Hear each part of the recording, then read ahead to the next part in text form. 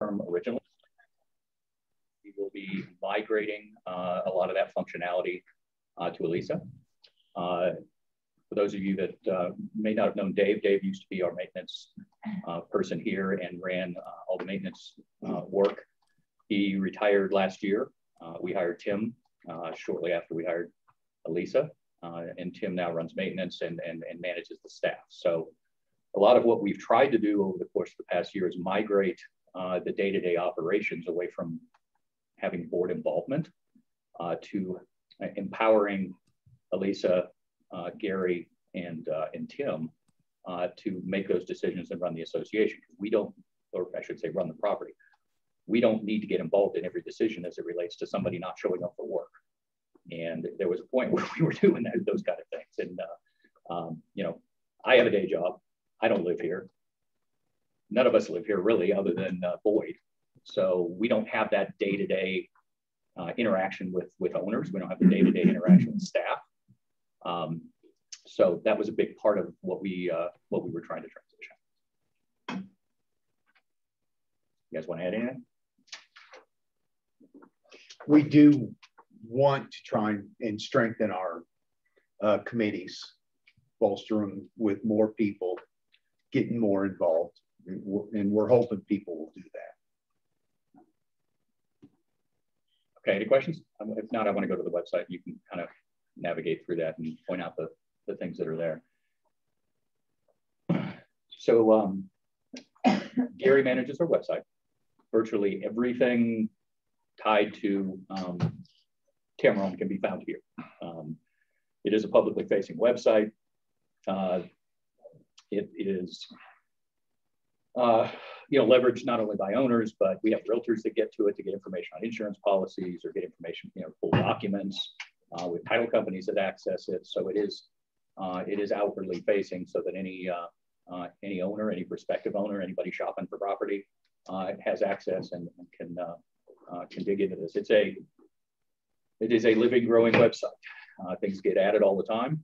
Um, you know, we've uh, we've added several things in the last years uh, or so, just because we we put a maintenance system in place and an accounting system in place and some things to make assessment payments easier. Uh, so it changes all the time. Um, I certainly encourage you to to, to, to look at it.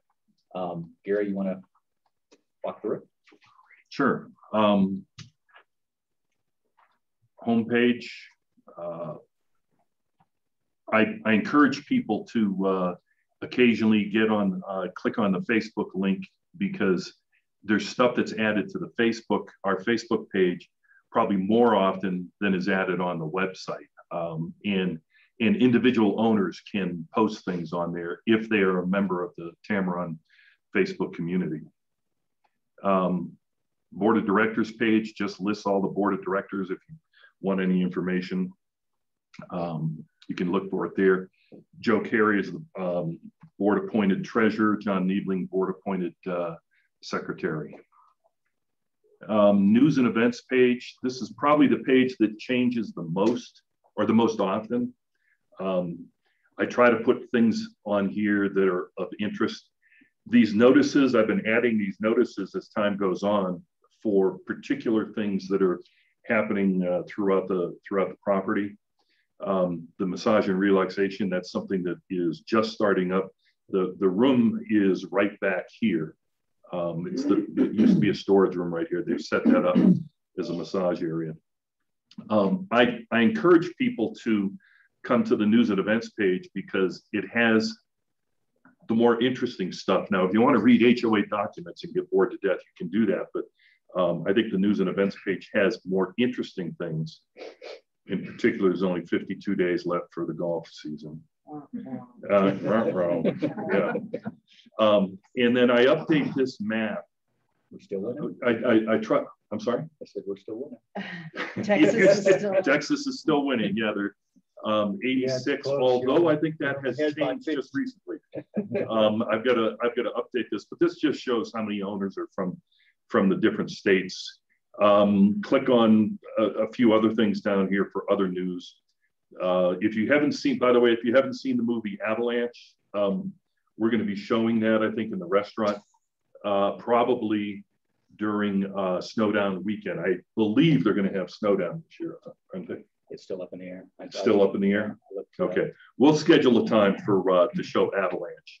And then I uh, put the results of the golf tournament on here. There's a video clip of the 2018 golf tournament. Um, we didn't get many pictures from 2019 or 20. Um, anyway, there's just a couple of video clips there. Um, let's see.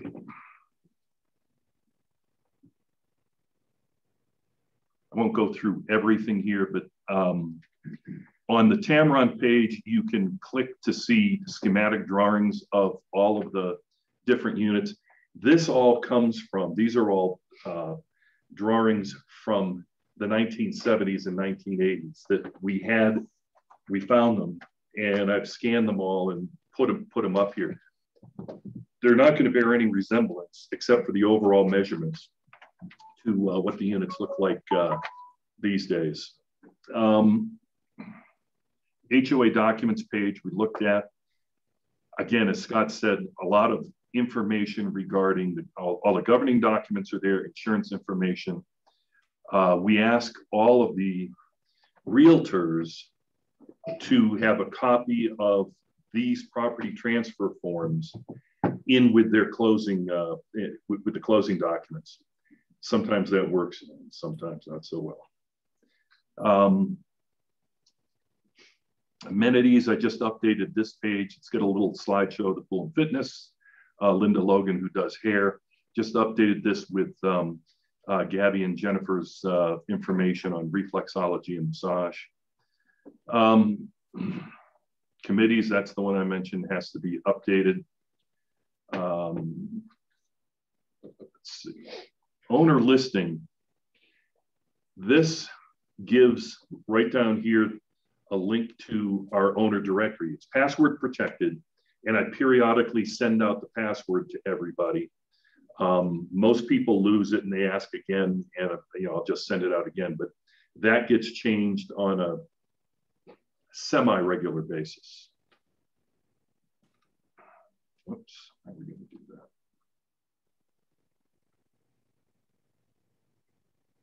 that? Um, Anybody just, that just you, so you know, on that order listing, if nobody's looked at it, it is an opt-in. So it's not 100% complete. It's not, there's not contact information for everyone. It's an opt-in situation. So just know that if you look at it, if you're trying to track somebody down, they may or may not be on that list. I think there's about two thirds, about two thirds of the owners are on that list. About 230. Uh, I'm sorry? About 230. 230. Okay. So it's, yeah, it's a, it's about two thirds. Um, And if you take a look and your information's not on there and you want it to be, just let me know and I can add it.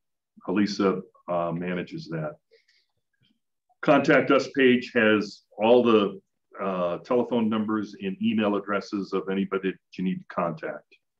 And by the way, um, on a lot of the pages, not all of them, there's a link to the latest uh, Tamarron newsletter. This one just got posted yesterday. Um, our thanks to uh, Ann Stokes for doing that. Um, this is the second page that I encourage people to go to all the time, the telecom information page. If you want to know anything about TV, phone, and internet, go to that page. This tells you how to set up voicemail, although I, I advise people not to do it. Um, instead, I would buy a cordless answering machine telephone and program it as you wish because you don't get any visual cues in this system as to whether or not you have a message waiting. Um, anything on the internet is here. If you ever want to test your speeds, click on any of these to do a speed test. All the television stuff is here. Um, information regarding Glacier Club is here. And if you have questions about water and sewer, uh, let's see, the, um, I believe I have a link to Elbert Creek. Uh, yeah, right here. There's the Elbert Creek, Creek Water Company. That's who we get our water and sewer from. That's who we're in negotiations with. Um, you can contact them uh, if you if you want. Um, I last year, I was posting updates on the COVID 19 page on a fairly regular basis, probably three or four times a week. Um, I've been doing it about once a week now, uh, only because there, there, are far fewer updates. in Durango, the Durango Herald does not have a link um, to the coronavirus that they used to have, um, and they would post updates. But I get the these numbers from various websites as far as cases and all are concerned. And then I just deleted a whole bunch of notices of information and online articles uh, a few days ago and uh, pared that down. Base Camp Restaurant. Anything you want to know about Base Camp is on here. And there's a link to their website, uh, merchandise, and I think Elisa will have things to say about that. These are different uh, Tamarron branded merchandise items that we have uh, for sale. There's some in the back here that you might want to take a look at. if you stop into our office, we have more of those. Um, and we get these through uh, Greg and uh, uh, Ann Stokes through Sanmar. We get a lot through through Sanmar. Uh, some of the other things we get from another company. Um, and we still have uh, quite a bit of the vintage Tamarron dinnerware if anybody is interested. but you can Please. find, and, and by, by the way, I'm going to put a plug in for this. This hat right here, Elisa found these patches. They're about this big. I think they're two and a half inches or so, mm-hmm. two, two and a half inches. These are old patches, and it says Tamarron uh, Inn and Golf Club. These are from, they have to be from the 80s. So we found those. And then I happened to find this black hat, this black baseball cap with orange trim. It's almost exactly the same orange. So we have one back there. We had, um, we ordered a bunch of hats and we took the patches and had them sewn on. A guy downtown does that. And uh, it was kind of, I, I think these are kind of cool. Anyway, um, too much time. Uh, if you pay online, you can go to Paylease. Uh, Vintium is a is a platform where you can uh, submit um, maintenance requests. So click on those and learn about those. I just started this buy sell thing. If people should have seen this a while ago. Um, if you have some significant items that you want to sell, send me some pictures, send me some information and we'll put them on here. Um, if you've got mismatched dinnerware and all that, we don't want to put it on there. Uh, we've had a variety of things on here and they've sold. Uh, and then lastly, all the information for the annual meeting, everything that's happening today and tomorrow is on the annual meeting page. That will go away uh, sometime next week. Questions? There is a link also to the Facebook page here. I think he scrolled through it a few times. I think we've got 110. about 150, I think now. Oh, really? Okay. Yeah, I think it's about 150. Okay. Um, that's what I, that was the latest that I saw, I think. Yeah, I mean, we try to, uh, I have encourage people to communicate on here. Um, I will tell you that there is some policing of it. So if somebody, you know, puts something tacky out there, or we get things that we don't think are appropriate, then they won't get posted. Um, but we're hoping that this can be a you know a good vehicle for communication as well. Um, you know, we have been doing the quarterly newsletter now for I don't know two years, I guess, something like that. Um, so that also is uh, you know a, a, vehicle that we use for communication. Um, but again, we encourage everyone to participate if you've got ideas. You know, Gary's here all the time. Uh, you can email any of any of the folks on the board. Um, again, you know, we, we, we do our best to, uh, you know, to communicate things uh, where necessary. And um, any anybody that wants to get more involved, you're welcome to, to, to step up because we're all volunteers and we like to help. Um, yeah. Well, I, I just wanted to um, take exception to my esteemed uh, colleague Gary, uh, who implied that the that the documents are not interesting. Um, I don't think I implied it. Oh, it's spoken from an educator. As, as the board I, I find them spellbinding.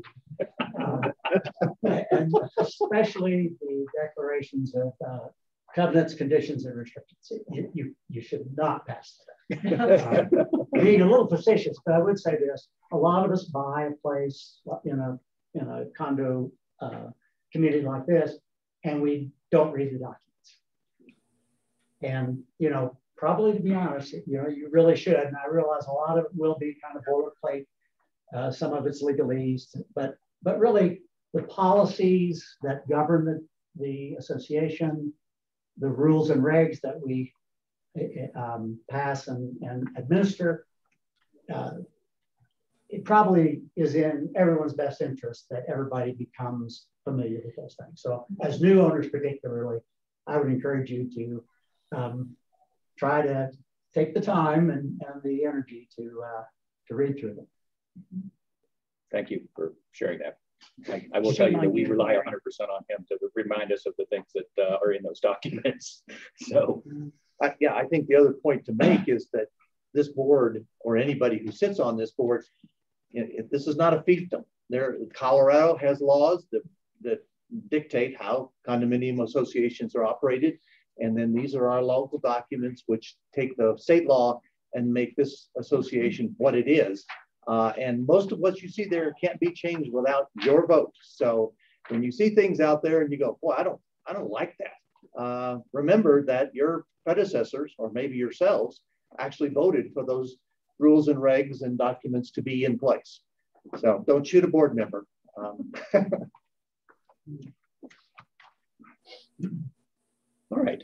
Um, so we got about two minutes left. Um, I don't want to rush anything, but is, do people have questions about anything we covered?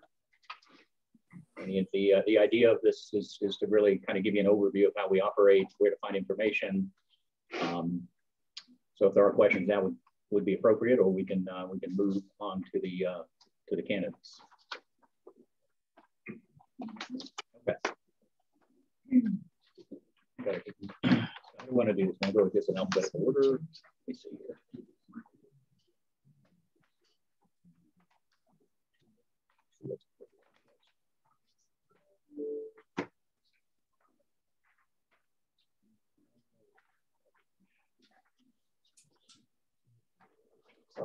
Yeah, I remember when it all just go in the order that they're listed here. Yeah, that's easiest thing to do.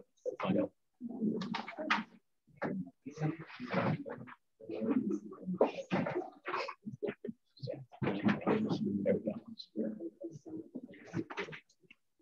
All right, uh, is Boyd dialed in?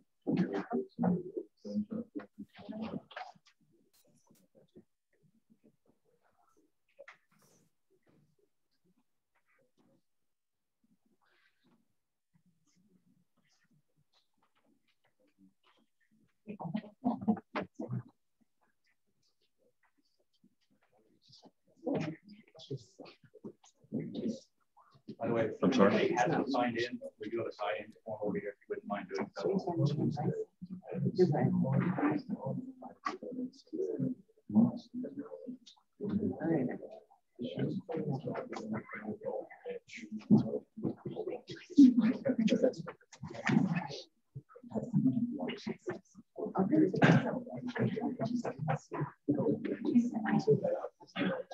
Yeah. Hey, uh, will you open up the HOA page to the um, board candidates? And I'm just going to go in that order.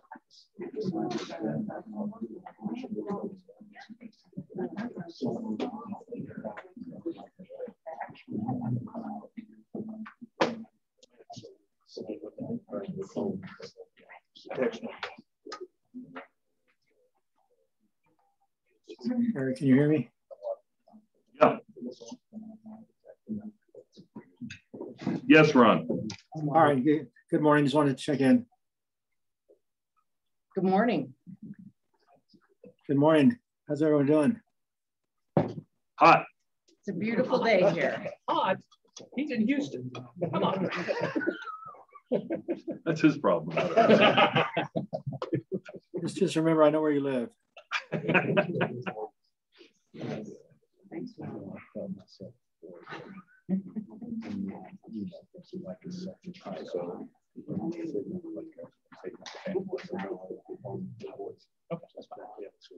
Okay, so um, I'm gonna go ahead and get started on the next um, the next uh, agenda item. So, as everyone knows, um, our this is at the time of year we vote in new board members. Um, uh, I'm stepping down. I'm termed out. Eric's stepping down. He's termed out. These are the candidates listed on the website. Um, I was just going to go in the order as they're listed here. Um, we did just text Boyd. He um, Boyd is an existing board member. Has been a board member two years. Is correct? So This Four years. Four years. Four years. Something like He that, filled the term. He filled it, that's right, yeah, he got it. Got elected, so, Okay. yeah. So Boyd is resident here. Um, Boyd is a, uh, I guess, a banker by background. Um, he's been a, a, you know a great board member for us um, because he's got a good financial background, and that's definitely comes in handy. And then uh, you know a lot of, admittedly, a lot of what we rely on with uh, with the board members that we have is what is their individual expertise and, and what does that bring to the table. So it you know it always varies every time we uh, you know the, the board shifts. Um, Boyd is not going to call in, um, but uh, you know, he, he, he did submit his resume. I just got an update on that. Boyd is actually one of our working board members. He's actually on a conference call. He will be available for questions in about 20 minutes. Oh, okay. So we'll, we'll finish with him. He's, I don't know if he's going to log in or die. He's going to dial in, right? He, he usually does. So we're going to wait for Boyd. Uh, we'll cover him at the end. Um, and as far as rules of the road here, you know, we've got 30 minutes. Um, I don't want to rush this. We can certainly drag it on if we need to, but my thought is, you know, four or five minutes per person. Uh, it's typically what we've done in the past. Introduce yourselves, talk about your background, talk about your desire to get on the board. Um, you know, uh, what your, your time here, what your interests are, whatever you want to cover.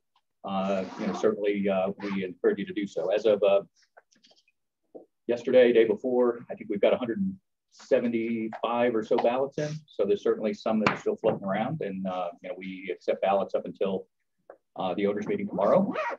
Um, so you can certainly turn them in earlier. Um, for those of you who may not be aware, we historically have always done this by paper. Um, we mail out ballots uh, and people either mail them back in or they submit them in person uh, when they're here. We did this year year electronic voting. Everybody should get an email on that. Uh, the idea uh, behind that is to slowly migrate away from uh, having paper ballots and spending $1,500 a year mailing out a bunch of paper. Um, this is the first year we've, uh, we've done the electronic voting, and I think we're about a 50-50 split between those that submitted by paper and those that submitted by ballot. But you are free to do so. Uh, The either way. electronic voting is over. Oh, it is. Okay. Yes. Okay. So now I if you stand haven't corrected, voted, paper you- only. you need to bring a, a ballot to the meeting. Okay. Okay. Cool. Thank Mail you. and electronic, right? Sorry, Mail and electronic. we can't, the electronic is, is ended last night at five But o'clock. even the mail coming in too. Uh, Yes, oh yeah, if you mailed it in, um, it needed to get to the L, to the Meadows Meadows and Associates yesterday by five o'clock. Yeah. Yeah. But so you have- can bring a ballot to the meeting tomorrow. Right. Okay. So we'll start with John because he's uh, the next on the Sure. list. Uh, hi, I'm John Niebling. Um, I was earlier introduced as the secretary.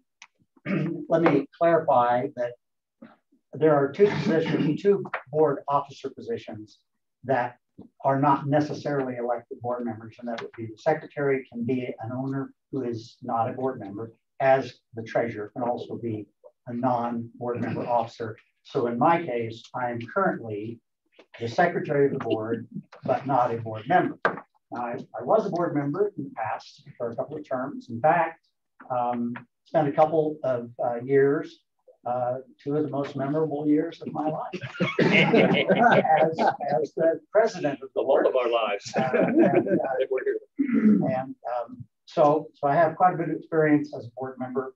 Uh, also, um, I'm, as I said, I'm currently secretary. I've also been secretary in the past. And uh, one of the responsibilities, of course, in uh, being secretary is to be familiar with those documents that I encourage you to read.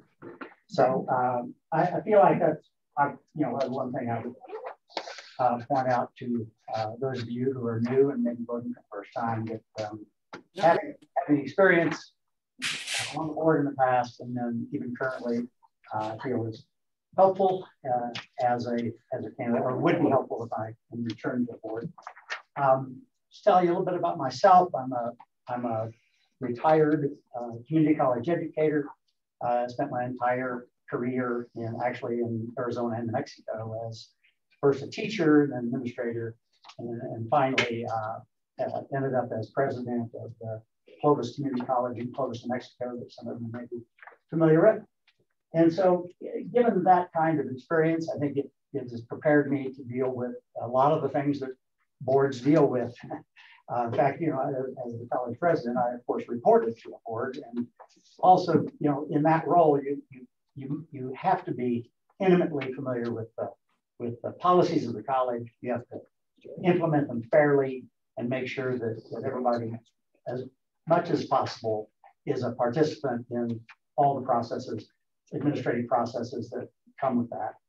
Um, I think also that the uh, just as part of that experience, um, it, it, it, forced me to um, learn about uh, things that I was not familiar with as a teacher, and that is um, during my tenure both at San Juan College down in Farmington and then over at Clovis, uh, I had to supervise the, uh, or be at least liaison between the, the college and contractors, architects, et cetera, in terms of building fairly significant buildings. Now, I don't, I don't think that we're going to be building any buildings, but uh, trust me, we have some buildings that need some attention.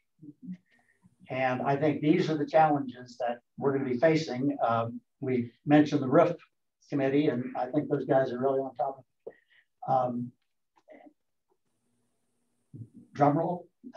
it, was, it was a joke. Trying to be fun. Um, uh, but then again, the, the not only what's on top of these buildings, but what's behind the walls of these buildings and what is in the ground, particularly is carrying water.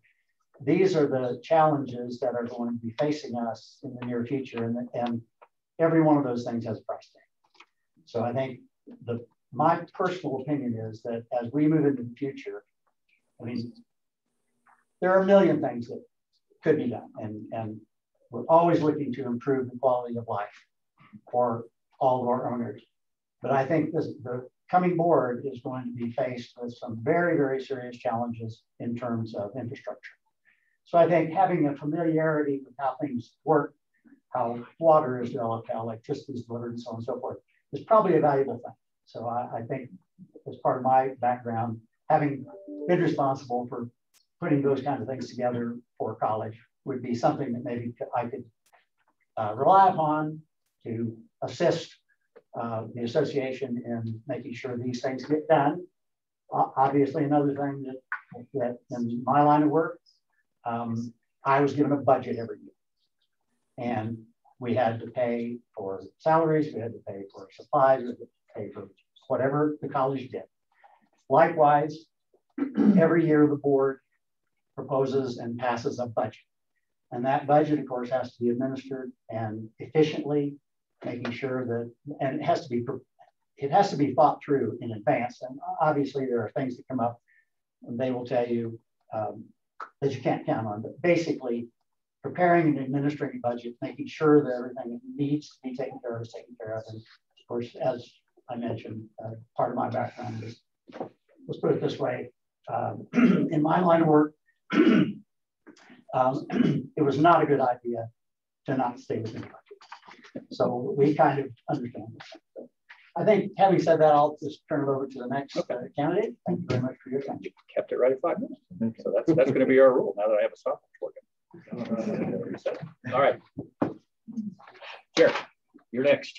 So Jerry Q2, um, Jerry's been involved on the uh, with us on, on the board in the past. He's also been um, active on, on many of the committees. Um, the negotiations we've been on have ongoing with uh, ECWC on water. We would not be where we are at today without Jerry's involvement. So, Jerry. Thanks, Scott. Good morning, everybody. How's everybody doing? Good, good, good, good to see you. Uh, so I am running for the board again. Uh, I was on the board from 2014 through 2017 and served as treasurer for two of those years.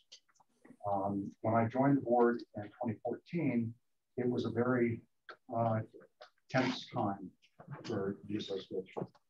We had all kinds of internal infighting. We had fighting between us and Glacier Club. Um, we had problems with personalities even on the, on the board um, clashing.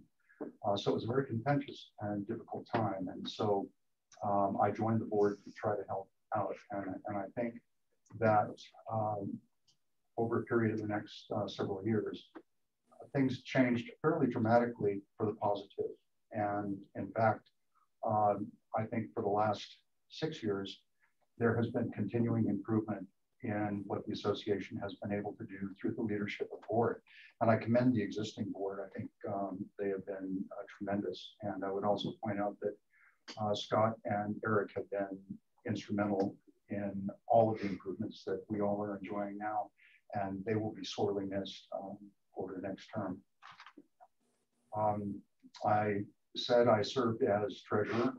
I also served as um, uh, uh, the leader of several committees, including Documents Review Committee, because we had to come into compliance uh, with the um, Colorado Common Interest Owners uh, Ownership Act, um, and uh, also with an Assessment Review uh, Committee, because we had to do something to codify our, our, our assessments and try to explain, being, be able to explain them to owners uh, so that they made sense, and they could understand them. I also served as, uh, I think as most rookies on the board do, as, a, as chair of the Rules and Regulations Committee, which is always yeah. Careful what you ask for when you get on a board. uh, so, uh, as many of you know, uh, I hope, uh, Joe Carey has been um, on the board in the past for many years. Uh, he is the guy who knows everything there is to know about, about TACO and Tamarron. And he has served very ably and extremely well as treasurer for many of those years. And so it was un under his tutelage that I learned about, about all of the association's finances when I was treasurer on the board. Um, that was that was invaluable. I also worked with our legal team, our two uh, legal counsel, um, Ken Golden and Christina Landrieu, on several issues that we had before us and, and dealt successfully with those and developed a good relation, working relationship with our legal counsel.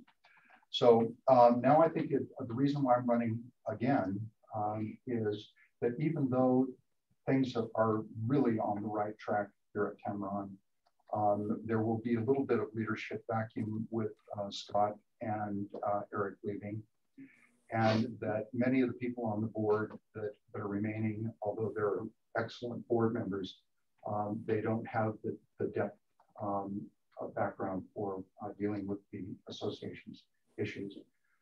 Uh, we bought our first unit in 2010, and I can say that I have attended almost every single board meeting since 2010, so that even when I wasn't on the board, I followed very closely all of the business that, that the association is involved in. And I look forward to doing that again. The final thing I'll say is that um, one of the first appointments that I had was to serve as the liaison with Glacier Club and working out a new contract for water and sewer. That was extremely important because our, our existing agreement with them expired in 2013 and it governed how we were being charged for our water and sewer. Also, at the same time, our water and sewer rates had been escalating to where in 28 by 2018 they were well over $400,000 a year. And after after salaries and benefits for employees was the single largest uh, budget item that we had. It occurred to me when I was working on this that that we were being overcharged. And so I worked quite hard at um, trying to get Glacier Club and now Elbert Creek Water Company, which took over the water and sewer business for them, to adopt new uh, state-of-the-art uh, best practices for developing rates for all the customers. And along with developing a new agreement, um, the other important part was getting our rates down to where they needed to be. And we have already succeeded now after seven years of work and, and great participation by the other water and sewer committee members, we have success, succeeded in getting our water and sewer rates down into the $300,000 uh, area each year. And they should be stable and they are equitable for all of all of the uh, customers. So I'm quite proud of that work as uh, as I am in, in, the rest of the committee members and the agreement. I'm not going to say anything more about that right now. I'm going to let let Scott uh, address that. I'll cover that in the, in the board. Thank you very much. Okay, thanks, Jerry. Uh, TP.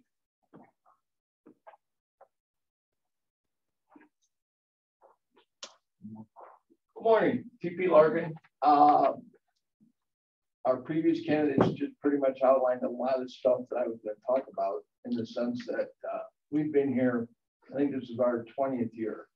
So we've gone through everything you've heard. And uh, I agree that we're moving into an era where we're going to have some serious construction, replacing of pipes, upgrading roofs, etc. Uh, we also, in my opinion, in the last five years, have changed our entire ownership of this resort, going from rentals to part-time rentals to long-term rentals. And I think we now see, I don't know the percentage, maybe somebody does, but we have a tremendous amount of people who are living here full-time. During this last 10 years of what you've already heard about, there has been some changes within our rules and regs. There has been some changes philosophy-wise. However, we haven't brought it up to the point of what do we do with people that live here full-time versus the people that are renting next door to them versus the people who are living full-time in the lodge, et cetera, et cetera, et cetera. I feel that needs to be addressed big time. Secondly, in my, my major I have so many points I could share, but I only have five minutes, so I'll hit my highlights. I've been a general contractor for 42 years. Um, everything that Eric has done, putting together our long-term plans and improvements, I feel with my experience, I can really add a lot to the entire package of our board. So each one of these people that are here now and whoever gets elected, I can, they can lean on me if they want additional information than what's being provided within our own operation. I've met with Tim several times since he's been here. He has a upgraded, positive, futuristic thought pattern for where this resort could go. And I think between him, our new board members, our existing, and input from our owners, we can move this into 2021 and cover it for the next whatever, that pretty much sums it up. I ski, I kayak. My wife Lynn was over here. Um, we spend about three months a year. We want to spend more slowly but surely as I get older. I think I will. And I hope that you vote for me. Thank you. Thanks, Steve. Uh, Dawn. Do I have to stand up front or is this okay? Oh, you got to make a mockery of yourself. You got to be front. Hey, Don. Just, okay. Don, just make sure we can the, the uh, microphone can hear you. Okay, I talk loud. so, okay, I'm Donna Carter. I live in near 861 in Pinecone. I'm a full-time resident now, and I'm retired from ConocoPhillips Oil Company in uh, March on March 7th of this year. But I've pretty much been living here full-time since March of last year when COVID hit and we started working from home. I happened to be here at the time. It was awesome, as I have to say. So um, I'm going to talk a little bit different than everything. TP kind of got into it a little bit. So this is my home. This is where I live year round. I want it to be treated like my home. Um, I think there's a lot of rules and regulations that are good out there. Um, I think some of them have been there a while and need to be looked at a little differently and changed. Um, I think they need to be changed to where they can be followed a little easier. Um, I see certain rules out there that I know folks aren't following. And it's because maybe they can't be followed as well. I see people who know all the rules and regulations that aren't following them. I know they're supposed to be fines. Fines are great. And I think um, by changing them, we can still have the fines, but they can be where they can be followed, where they feel like this is our home, we live here. Um, you guys have talked a lot about the construction, the water, that type of thing. Yep, not my background but that's okay because we were just talking earlier that the committees are made up of other owners. So those committees don't have to be led by a board member, which means we can pull in people like Jerry and TP if they're interested in helping out still, being owners of having condos. Um, there's been some conversations about who's been here, who's been on the committees, who hasn't. Um, if you don't bring new blood in, things are never going to change. It's always going to stay the same. And you can't rely on the same people forever because eventually they're not going to be able to do it. So you've got to continue bringing new blood in. I'm not young, but I'm not real old yet. um, uh, anyway, so I just feel like I live here. I want to have a say in what's going on more than just a vote here and there. I want to be able to have more discussions around how things are done here. So, any questions? Okay, Thanks, Tom. Uh, Mark. Last but not least. We got Boyd, maybe. Mark, yeah, Mark, I I apologize. all of the rules and regulations. Just before you start, uh, I apologize in advance. We are expecting Boyd to call in if the phone rings. I You just stopped. apologize. No, okay, thank you. And this is Kathy. Kathy's our other board member. So my name is Mark Bliss. I know maybe a third of the people are here because I've talked to a lot of people since. Mark, you might want to get closer to the mic here because there's a bunch of people online. I have a louder voice than you. Sorry. My wife my wife is Cindy. She sits right here. Karen. So my name's Mark Feliz. I cannot talk about all the things I've done in the board in the past because I haven't served on the board in the past, but I can talk about my background that I think um, qualifies me uniquely to serve on the board in the future. So I grew up in Connecticut. I grew up across the street from a golf course. Starting in high school, I worked at a golf course. I was a greenskeeper at a golf course. So in my high school years, that's how I learned how grass grows. Um, I came to Colorado and went to Fort Lewis. I came to Fort Lewis to ski. I ended up studying geology. Why? I don't know. There's a lot of geology in this part of the country. Um, I graduated from Fort Lewis. While I was at Fort Lewis, um, had to earn a living to try to get through school. And I did that as a um, everything, but in the summers I worked in, in the plumbing business. I was a plumber's helper. So I understand plumbing. If I go, you go downtown, I can start pointing to some of the places that I ran copper pipe. Um, I know how that stuff works. After Fort Lewis, I went off to School of Mines. School of Mines, anybody that's familiar with that institution, you're an engineer first, and then you're whatever you want to be. So I went to School of Mines and I graduated from School of Mines with a master's degree. I'm a geologic engineer. After that, I went into the mining industry from School of Mines. I was with Union Carbide initially. I served as a planning engineer. I, my job was planning. So there's a qualification that, that is uniquely um, qualified for this board. I um, moved to South Texas in 1978. So I'm another Texan. I still live in Texas. I live in Plano, um, which is north of Dallas, Fort Worth. I left Carbide in about um, 1980, and for 35 years, I worked for another mining company. I started as an engineer. I ended as vice president of health, safety, and environmental affairs for company. I retired in 2013. Um, during that time, I served on the board of Texas Mining Reclamation Association. I was chairman of that board. Um, I served as uh, on the board, and I am still on the board of the Uranium Producers of America. Um, I served as president of that organization. And um, again, I retired as, as senior vice president of health, and environmental affairs. As and with those responsibilities, we dealt with water rights, we dealt with permitting, um, regulations in the uranium industry, a lot more than we've got here. Um, so I'm, I'm familiar with that. that um, I, currently, I'm semi-retired. Um, I serve on the board of a um, another junior mining company right now. I'm an independent board member. So I'm familiar with boards.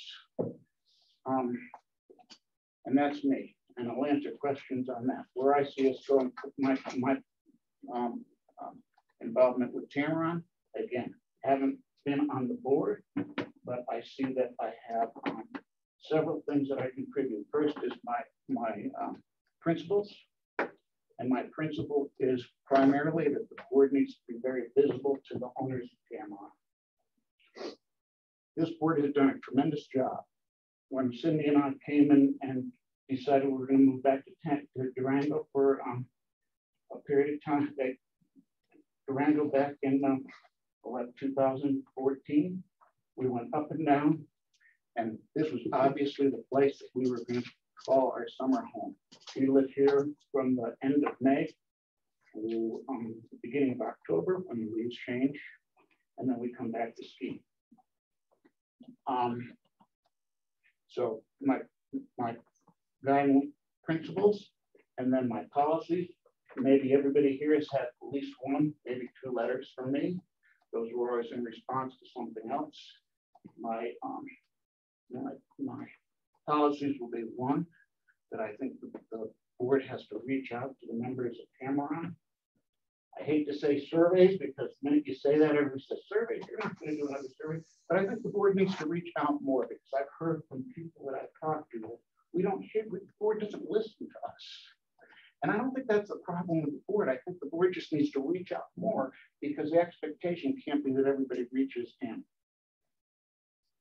Um, surveys, once that is complete, the second thing maybe more, be a little bit more um, um, creativity on how we deal with some of the, the property owners' issues. Don mentioned this, the rules. The rules aren't bad. The rules have got to either be followed 100% or the rules need to be changed. One of the two. Um, I think that we can look at the rules right now we can, and go through every rule and walk through the complex and find a rule that isn't being complied with. So it can't be um, you know, selective compliance with the rules. Um, I think that we need to look hard at demographics. Everyone I talk to, my complex or my pod down in Gamble Oaks, there's one unit there now out of all of them that is a rental unit. All the rest are either 100% live or 50% live. So it's changing, and I hear and I and I, I speak with a charter owner, if you will, yesterday um, about Tamarron 1974 through Tamarron now. And it's changed. The lodge has gone from a hotel to something less than a hotel, and, and the outlying units are becoming homes. So this has to be, would be reflected in the way that I think is managed. Um, but again, we don't know what those, those, those answers to those questions are until we go out and ask people, what are they doing now here in terms of their living conditions? But project, what are we going to do in five years? Because in five years, I've heard a number of people say, well, we're renting now, but in five years, it's going to be home. So we need to account for that. And then finally, what's near and dear to my heart is a priority is I want to get involved and I, I, I think we can spruce up our grounds. I've got the background to do that. I heard today that there's been a committee that sort of fell apart on landscaping. Several um, times. Several times. Whoever is but we also have a great staff now. I will request that the president appoint and, and that as another committee, and I'll be glad to serve as chair, either elected or not. So that is where I am. Please ask me questions, and uh, I think I exceeded five minutes. it's okay. All right, um, Boyd is on the phone. Um, Boyd, we've been giving everybody five minutes. If you uh, want to just maybe give a quick overview of your background um, and your you know participation on the board, and then to the extent there's questions, people can pose those as well. Okay, thank you. Scott, can you hear me okay? Yeah, we can hear you. Okay, great. Uh, my name's Boyd Hodges, uh, 865 Pinecone. Uh, been a full-time resident at uh, Tamarron since 2006. Um, I've served uh, the last 15 years. I've been the president and CEO of two different banks uh, in in Durango. Um, I, uh, I've been on the board. I was uh, appointed on the board, uh, I believe, four or five years ago, and then I was elected to a full term three years ago and um, uh, been been active with the board on it. Um, I, uh, uh, being a full time resident, I've, I've, been out some with uh, um, taking care of my parents some last year, and then sorry I'm not there today, but I suffered a knee injury uh, at uh, Tamarron a couple of weeks ago, and uh, so I'm kind of laid up right now. But I will be back next week. Um, I think one thing I can bring is Um, you know, I, I, know the staff well. I'm there. Um, you know, like I said, uh, I kind of consider myself a boots on the ground, being a full time resident there for that many years, and know most uh, everybody there, and uh, just a great place to live. I'm um, keep living there and, and enjoying it very much. So, Scott, anything else or? You know, no. Anybody have a question for Boyd? Did you have a question, Ron? Not for Boyd, no. Oh, okay. Um, okay, so Boyd, thanks. Uh, one thing I before give me one sec, Ron, but um, before we move on, are there any questions for any of the candidates? Does anybody have any questions they want to they want to address for the candidate specifically? If because we really didn't take the time in the five minutes. So if there are some, bring it up now. Yeah, Rob. I have two questions. Uh, uh, Jerry, you served uh, for an extensive period of time on a very important committee, the assessment committee. Would you address uh, that experience, the outcome, and what you foresee this new board being capable of doing insofar as studying and updating our assessments?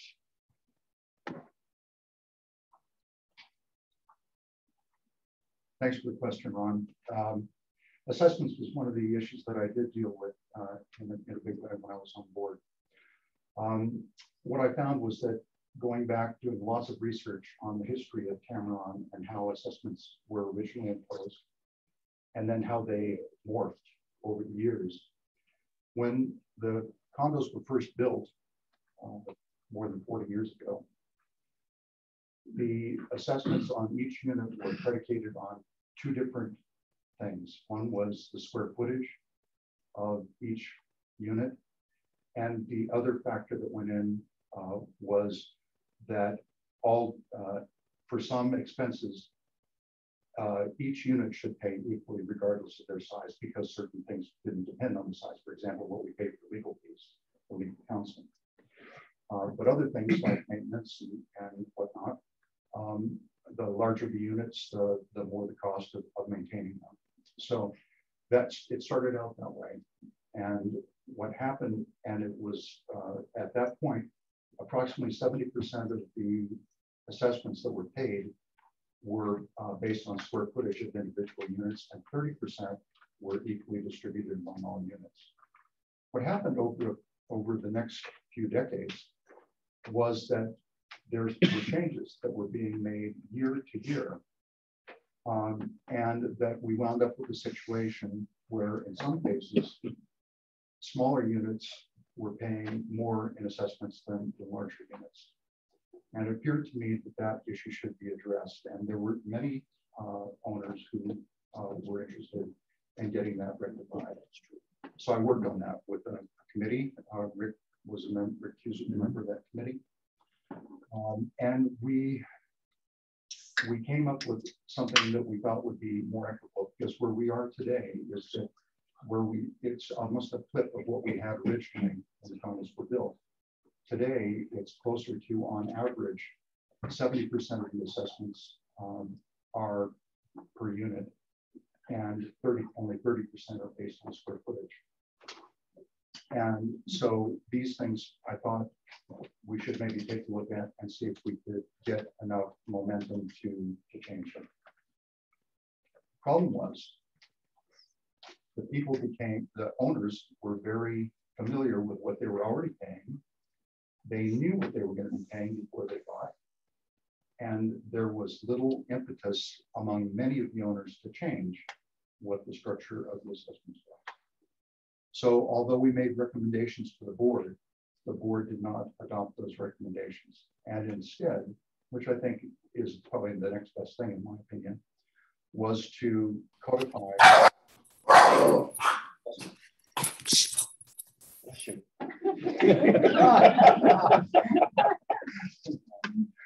uh, so, uh, and what Joe had been doing as treasurer uh, for quite a few years, I don't know how many exactly, uh, Joe could probably answer this, was each year as our expenses went up and we had to set a new budget, what he would do is basically increment everybody's assessments by the same percentage. So once those were set, it was they, the assessments were raised equitably based on what they already were. And so what the board did, eventually did, was just say, we will fix what the structure is, um, and we will continue to do the same. And now uh, we have uh, written policies that, that anybody can look up and see uh, and, and understand what, what the assessment's done. I, I don't know if that satisfactorily addresses your question. I'd like a follow up if I could. Um, what do our declarations call for insofar as assessments are concerned? What do they call for today? No, we're not going to get into that now. We will be dealing with this forever. If we want to talk about getting into assessments again, have a committee, we can do that. But we all know what we went through three years ago, four years ago. We had a committee, we went through the process. The ownership in general has not said word one about assessments since that time. So if we want to address it, we can address it, but I don't want to derail the meeting. Okay, Could I make a comment, Yeah. Scott? I wonder, could we um, open up the windows maybe and uh, maybe look here? The, the ACs are probably turned off, so it- yeah, for the noise and it, that's what's Uh, making it warm. and in you have another question, Ron? Mentioned you had- Yes, I do. Uh, Don and Mark have touched on this, but I'd like to hear from them more specifically and expanding on why they think new, new owners uh, should serve on the board. Now, you guys probably need to come up here because now the ACs are turned on. I'd just like to make one comment on assessments and, and going a little bit back to where I started, where I got the tail pinned on the donkey when I'm running the board. Down in Gamble, I started um, the conversation earlier in the summer with a number of my, my neighbors. I mean, you should serve on the board, no, you should serve on the board. And I got pinned that tail after that. So, so that, and that's very simplistic. and It's not why I'm running. We do, I do believe that every pod or every uh, gamble, pine cone, lodge, and I think all ought to have representation on the board. Otherwise, it's better to Senate with no representatives. Um, the Which I do, we do have that today. But you won't when you leave. Uh, It depends on who gets You don't voted. know. Well, that's why I'm running. No, I get it. But um, one of maybe the top three things that I've been pulled over and I've talked to a lot of people in the past five or six weeks is where do these percentages come from? And, and I think at least the members, and this goes back to where I say transparency, the members need to know at least where the percentages come from. They might not like where the percentages but at least then they'll have an answer to where the percentages come from. And, uh, Those percentages, there, there's actually a formula that's been in place for, I don't even know how long. But no one knows that. No, it's been shared more times than I can count. I got a copy of it. Is But it on the website where someone can go out and look at it? and know what it Is it on the website, Karen? It's, is the old, are the old declarations there? is? I don't think the old declaration, newest We declaration. can share it again. Again, I- we got a lot of new owners, so I get the question. And that's, that's a fair question. But again, it has been addressed many, many times in the past and we're, we're very transparent. If I may, Well, the- those- those if I may, Let, the old, the old assessments were, the, the original assessments were based on a convoluted formula that, as Jerry suggested, involved square footage and, and fixed fees for each unit. But it also brought into play market value and rentability because Tamarron was originally built as a resort property.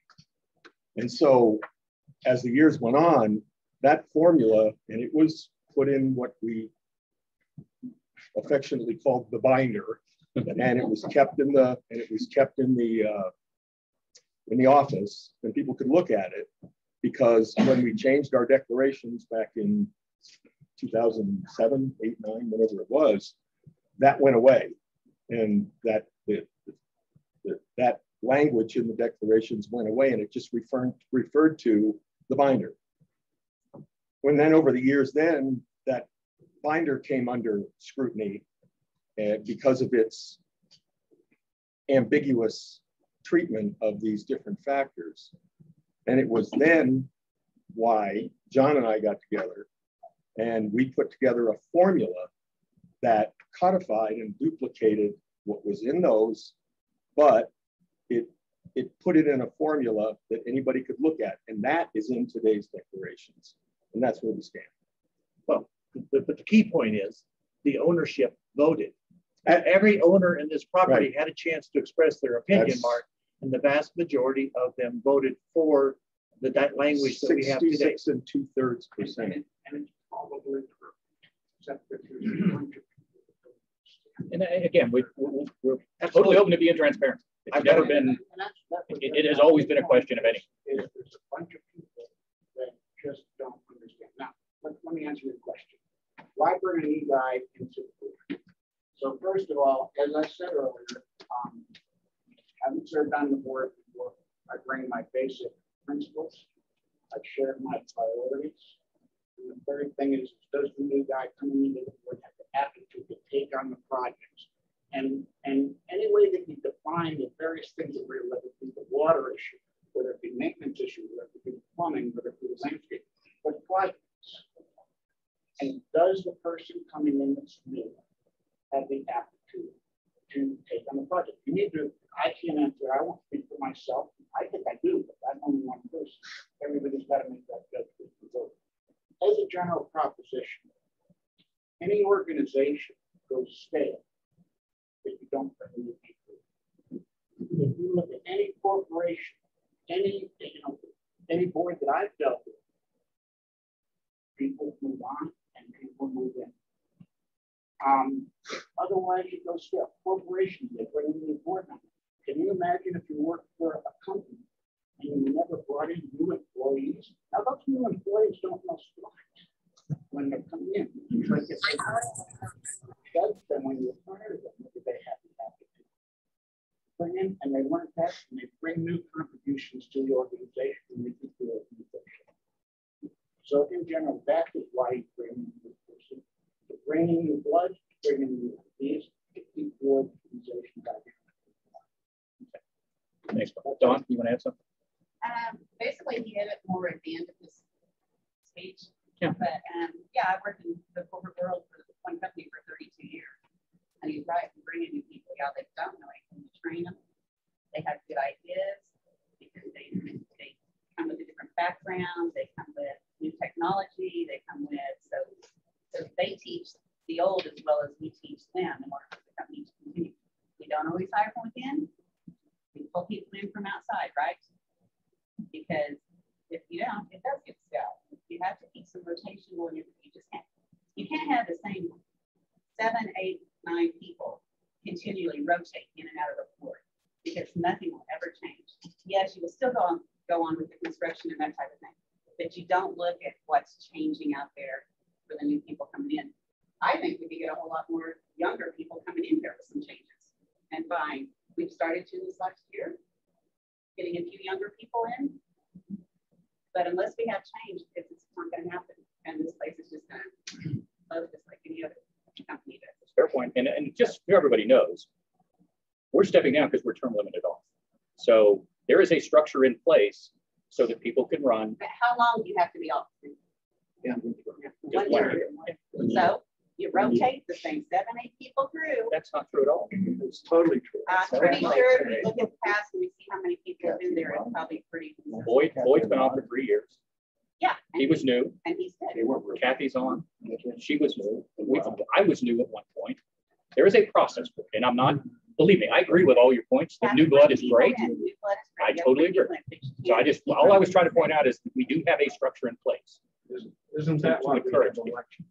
Elections? That's why we have elections. We, we raise our hand every year and say, if you want to run for the board, do it. Decide who they So- want. Another interesting thing is, is we're having this conversation after hundred and seventy people have already. Instead of sending a piece of paper in with, here's my background. See what I'm saying? So now we're having a conversation with, Don, tell us why you want to be on this board. Right? Hundred and seventy people have already voted. What is this doing? And how many people don't vote? You, you had the opportunity, everybody has an opportunity to submit a resume. If we want to change that process, we can do it. No, I But said, that's the we way we've did, done we did submit a resume, that all people are getting is this piece of information. I mean, to me, sometime before, there should be a meeting so that we have the Q and A. Not the day they're voting, or the day they're voting. because 170 We can definitely talk about doing it that way. So I'm just, I'm just gonna throw that out there. And I did a Yes, thing about. I just would like to make one comment to his question why we need new board members. Um, there have been several instances with several people that when they've approached the board, they have, someone has commented, there's no way that will ever be approved, period. It's not researched. No one, it, it, and you feel like no one's listening. That's what's so frustrating is you should never get a comment from a board member. This will never be approved.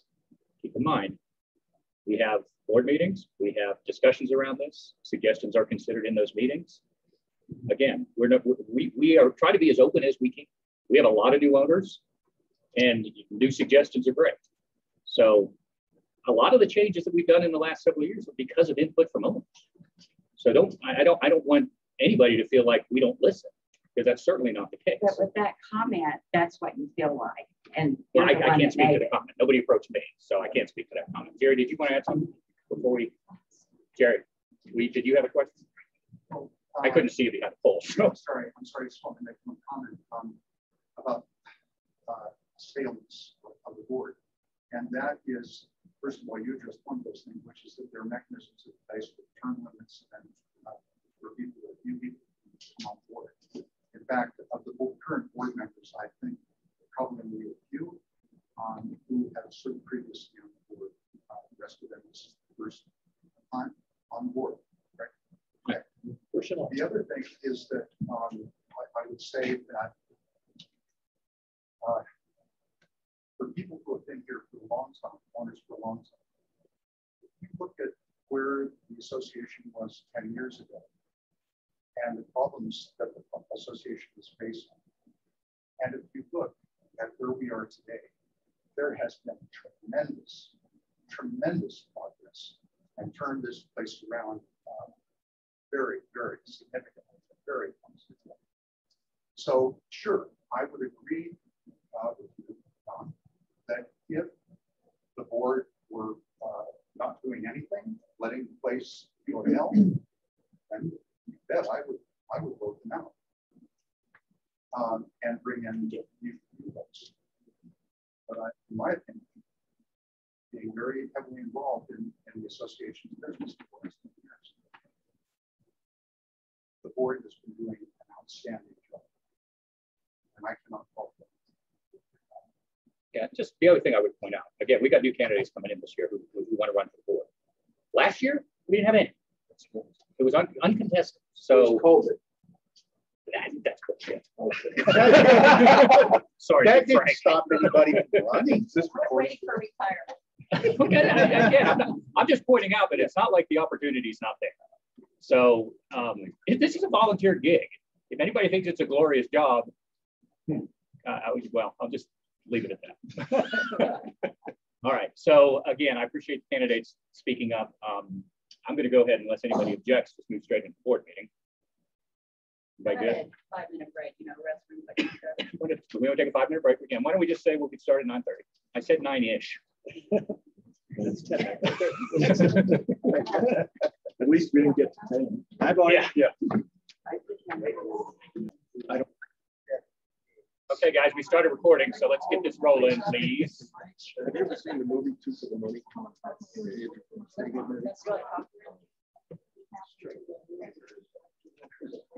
Uh, who's the guy? Yeah, Texas. Yeah, Matthew McConaughey and uh, Al Pacino. Oh. Okay. Um, I'm assuming we'll have some other people come back. I don't know, but we're going to go ahead and get started. Um, first of all, it is 9.32, so I'm calling the meeting to order. Got that, Secretary? Okay. Um, I want to, I mean, you want to establish the form? Yeah, I think the order of business should be to, uh, for the Secretary to confirm that this meeting was properly noticed and that there is a quorum present. We have actually, how many in the room? Four with Rick, five in the room, and two, I believe, on some sort of electronic connection. Is that a true statement? Yeah, Boyd's on the phone and Boyd. Ron's Ron's up there. Ron's there. Very well. Good. Um, and so, having said that, I will also um, call the board's attention to the minutes that have been, the minutes of the May 28th meeting that have been distributed to all of you. And hopefully you've had the time to review them.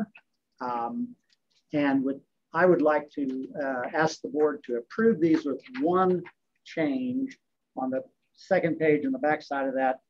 Um, I made a reference to attachment two, uh, and yet, as I understand it, there actually was no attachment. No. There was no paper document of, of the um, property report. It was simply an oral report. That's correct. So if the board would simply line out attachment two, and I would ask somebody, uh, Mr. President, I would ask the board to approve these with that change. I'll make a motion to approve the minutes. With that one amendment. With that one amendment. Second. All in favor? Any discussion first, I guess? Okay. All in favor? Aye. Aye. Aye. Lloyd? Ron? Aye. Which, by the way, I do have Ron's proxy just in the event that he has to draw. Um, okay, so minutes are um, submitted. Thank you. Okay. Um, so the, the one thing I wanted to, well, a couple of things. So um, as I said earlier, for those of you that may not have been here in the early stages, um, uh, this is my last official board meeting to uh, to chair uh, or to run, I should say, as president. So um, as everybody knows, we um, try to run through these, um, you know, in, in, in, an orderly fashion. Um, we do need to talk a little bit about the election, uh, and we brought it up a little bit earlier, but um, as was mentioned, in case nobody uh, or somebody wasn't in here, um, electronic voting is closed, mail-in voting is closed. If anybody hasn't voted, paper ballots uh, need to be submitted uh, either today or tomorrow before uh, or in our owners meeting. We'll make a final call for those ballots at the owners meeting. Owners meeting starts at 10. 10 yes. Oh, that's so late. I can go to golf course by It's in the DCCRs. Yeah, I know. However, there's a bit of registration and yeah. ballot yeah. submittal and all that stuff at nine. Yeah, yeah, yeah. You can always adjourn at 10 15. Yeah. um, so, any questions about anything relative to tomorrow? Uh, tomorrow, we, you know, not only the owners meeting, we have the um, hot dog lunch and I sent out an email this morning for those of you who haven't seen it. The venue for the hot dog lunch has changed. Usually have it under the porte cochere out front. They have changed it to the north deck here of the lodge. Um, one benefit is we don't have to bring the gas grill down here, but it'll be on the north deck. You can take a look at the new stairs and walkway and all that are back there and mingle under the pines and all that. So um, it won't be there. It will be up there at noon. Thank you. Um, I'm going to add one last thing just based on the comments uh, that we received uh, over the last hour and a half or so. Um, keep in mind that you know the board is able to be reached at any time by email, by a phone. All that information is on the website. So any suggestion that we aren't available, um, I would take uh, an issue with because that's certainly not the case. Um, I get emails, I get calls, I answer them, I respond to them. I think the rest of the board does the same. Um, Gary's here all the time, Oasis here all the time. They are sounding boards. Uh, so I'd encourage anybody who has ideas or comments or anything like that.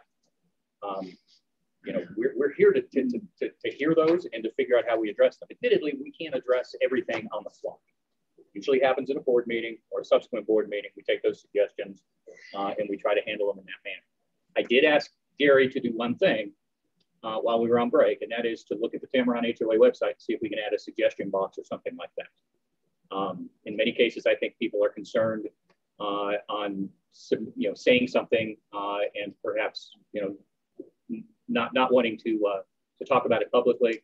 Um, if if any if you guys are open to that, I've asked Gary to, to certainly uh, uh, look and see if we can do something like that on the website. Um, again, you know, that's we're, you know, we're a, uh, an association of owners, um, and we got a varying degrees of ownership. Uh, I don't know. Somebody asked earlier about the percentage. What is it? Uh, permanence. We got 80. There's, there's no. There's about. I think we we had to do this yesterday. It's about 59, 60 full-time Full units. Okay. Units, not people, but right. full-time units. Around 120 short-term rentals, about 17 long-term rentals, and the rest are all private, what what we generally call second homes. Okay. And that's 180 or so, whatever, yeah, so, whatever adds up to 370. Yeah, there's definitely been a change of ownership. We recognize that. Um, the um, I don't even know how many damn units have been sold in the last 24 months, but it's a boatload. Close to 100. Yeah, close to 100. So, um, you know, we recognize that there's new owners, and, and as new owners, some people don't have the history. And, um, you know, they walk around property, uh, they read the rules and regs, uh, they feel like, you know, things aren't being followed. We get all that. Uh, the reality is we're not the police, right? We, we, we can't monitor everything. So if you're seeing things or you have suggestions, we're open to them. And I, you know, again, I'd encourage um, Gary to, to dig into that so that we can have some kind of suggestion box. Because again, it's we all got to live here. We all got to get along. We all got to figure out how to make the property better. Um, I do want to thank Jerry for his comments. We've come one hell of a long way. How many people here were owners in 2013 and 14? How many people enjoyed board meetings in 2013 and 14? Ron, you are a sick man. Especially if you had to run them. Yeah. right, John? Right. Uh, they, they, they weren't great. So we, we've come a long way, um, both property wise, um, you know, ownership, uh, involvement wise, I, I, I think um, can always improve. So anyway, that's my soapbox. I'm going to stop, and that's the last probably soapbox you got to hear for me anyway. Um, let's move to financials.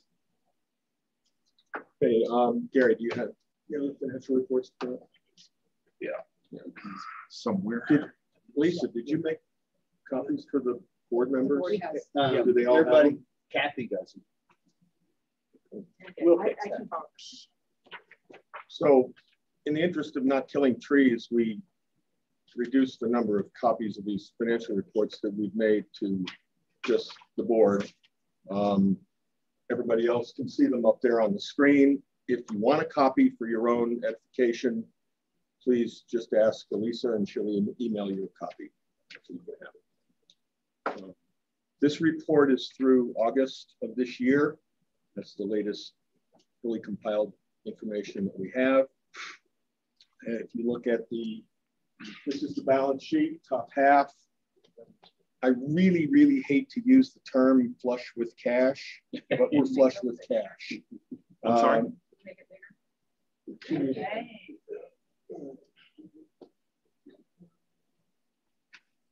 can everybody see it? Does that need to be angled better? It can't angle it anymore. It's, that's as far as it goes. Um, so we have we have uh, liquid cash in the bank. We have close to close to five hundred thousand dollars. We've got seven hundred and fifty-four thousand seven hundred thirty-one dollars in our three reserve accounts: 103, 107, and 108. 103 is the local bank, San Juan, uh, Bank of the San Juans. That's a money market account. The 107 and 108 are both uh, banks, you know, internet banks that we have. Uh, actually, Stearns is a brick and, a brick and mortar bank, but it's also an internet, internet bank. Uh, First Bank of Indiana is, is internet only. And we have laddered CDs with those two, two institutions. Uh, that was a good thing a few years ago, but uh, since interest rates, we had interest rates as high as 3% on our, on our uh, long-term CDs, but now as they're renewing, they're in the sub, sub, sub half a percent range. And, and it's just, that's just what the market is. Um, the Fed, Fed warns that inflation's going up, so that may change. So there's a silver lining on that cloud if, if it happens. Uh, accounts receivable, uh, accounts one, 132, 140, and 133. Lisa, this is probably as low as it's ever been, right? yes. Yeah. You've never seen it this low. And this is reflective of, as I get into some other uh, parts of this report, this is reflective of we are very, the economy is good, people are paying their dues, and we have very, very few delinquencies right now. I think we're down to only one that's a, what I would call a problem delinquency.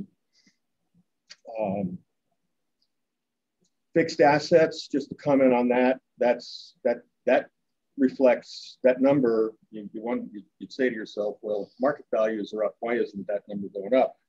Well, that's based on cost. That's cost basis, and then and then depreciation. It doesn't reflect market value, nor should it. Um, a lot of people always ask me, what is account 240 deferred revenue? So I'll explain it again. Uh, this this this number at the first part of every quarter or at the point where our quarterly assessments are billed, this number will swell to about $600,000. And that re represents three quarter, three months worth of assessments. As the months go by, that decrements down. And where that now reflects one month being September, because that's the last, last month of the quarter. And that's, we're reporting on August as of August 31st. So we still have September's deferred revenue in there to be counted for next, next month. All right, move on to the income statement, Gary.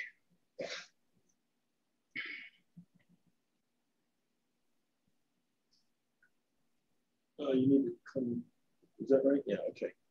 Um, so assessment for, I'm sorry, account 400 assessment fees, that's that's what that's the account that collects the money that you pay in assessments and your dues, right on budget as it should be.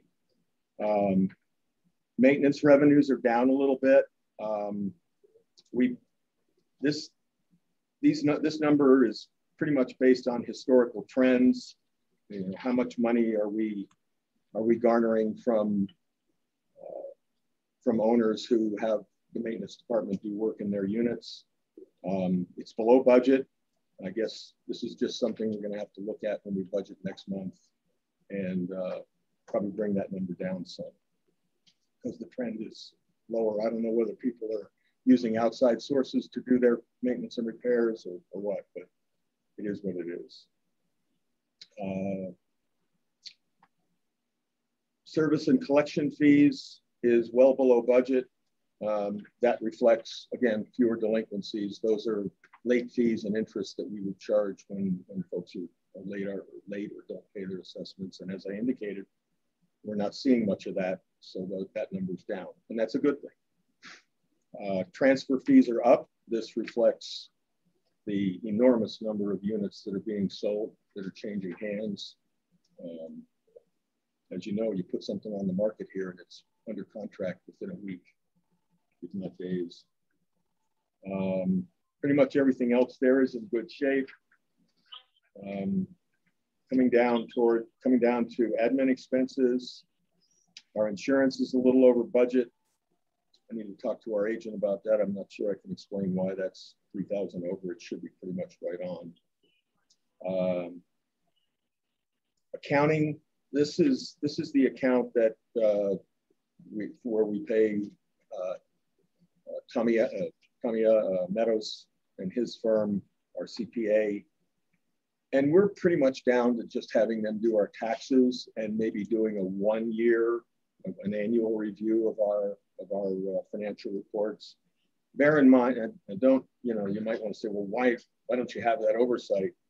Bear in mind that we still have an auditor, a third party auditor that does our, audits our books every year. So that's covered as well there.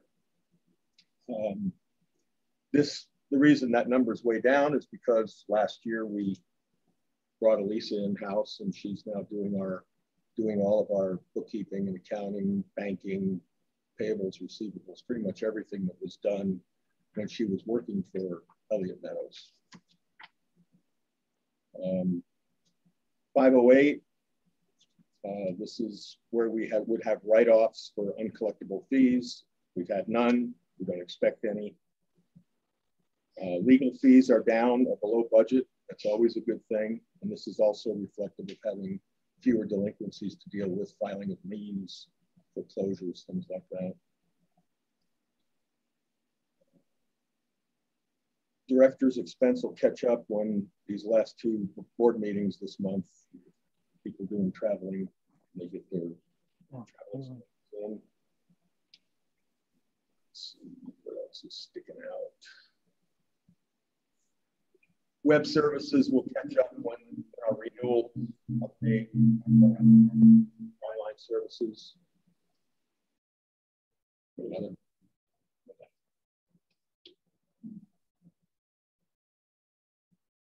Payroll processing is a little over budget. We've been doing this. Is this also collects background checks when we do rehab when we do new hires. So there's quite a bit of that in there. We hired some. We hired a number of new employees this year. Uh, let's see.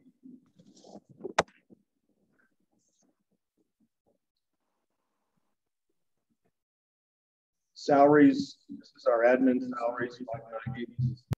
Elisa and Gary and that'll all catch up like, towards the end of the year when we give them bonuses. Did you guys hear that? First thing that piqued my interest. Yeah, right. Finally, something we care about, right, Gary? Let me wake Gary up.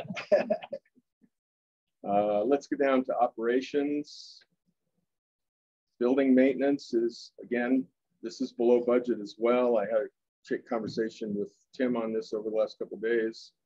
And this is another one where we base this on historical trends. Um, I don't know, maybe this is reflective of how well the maintenance department is doing, keeping the place up to date, things we've done, renewed some things over the last many years. And, you know, maybe our ongoing maintenance charges costs are going to be are, are going to be less going forward. So we, will be looking at that when we budget. Um, Snow removal, we're right on. That's a different different thing this year. I mean, we get some good snow this year. This uh, December, we'll probably bring that right up on budget. Um, roof repairs, grounds, window washing, everything else pretty much right there. Uh, I ran into uh, Bo Griswold, who does our, he's the contractor that does our exterior maintenance, all the painting touch up, staining touch up. He's finished with High Point and he's working on Gamble Oak this week. Uh, he'll be finishing up with that when he, when he, he'll be finishing up all three other areas, Gamble Oak, High Point, and I mean, I'm sorry, Gamble Oak, Pine Point, and Pinecone and the Lodge over the next couple of snow flies. And all of those numbers will be right up on in the budgets.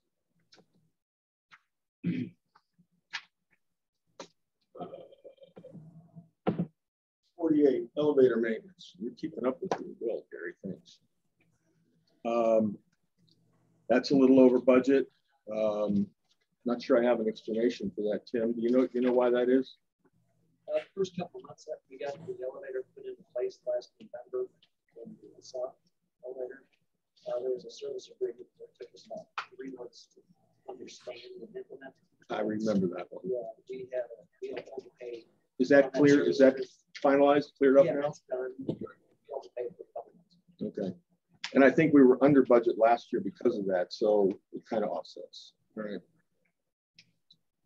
Um,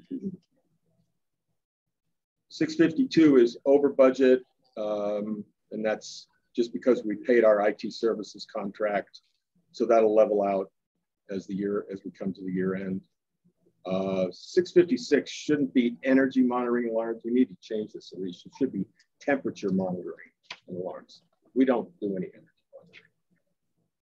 monitoring.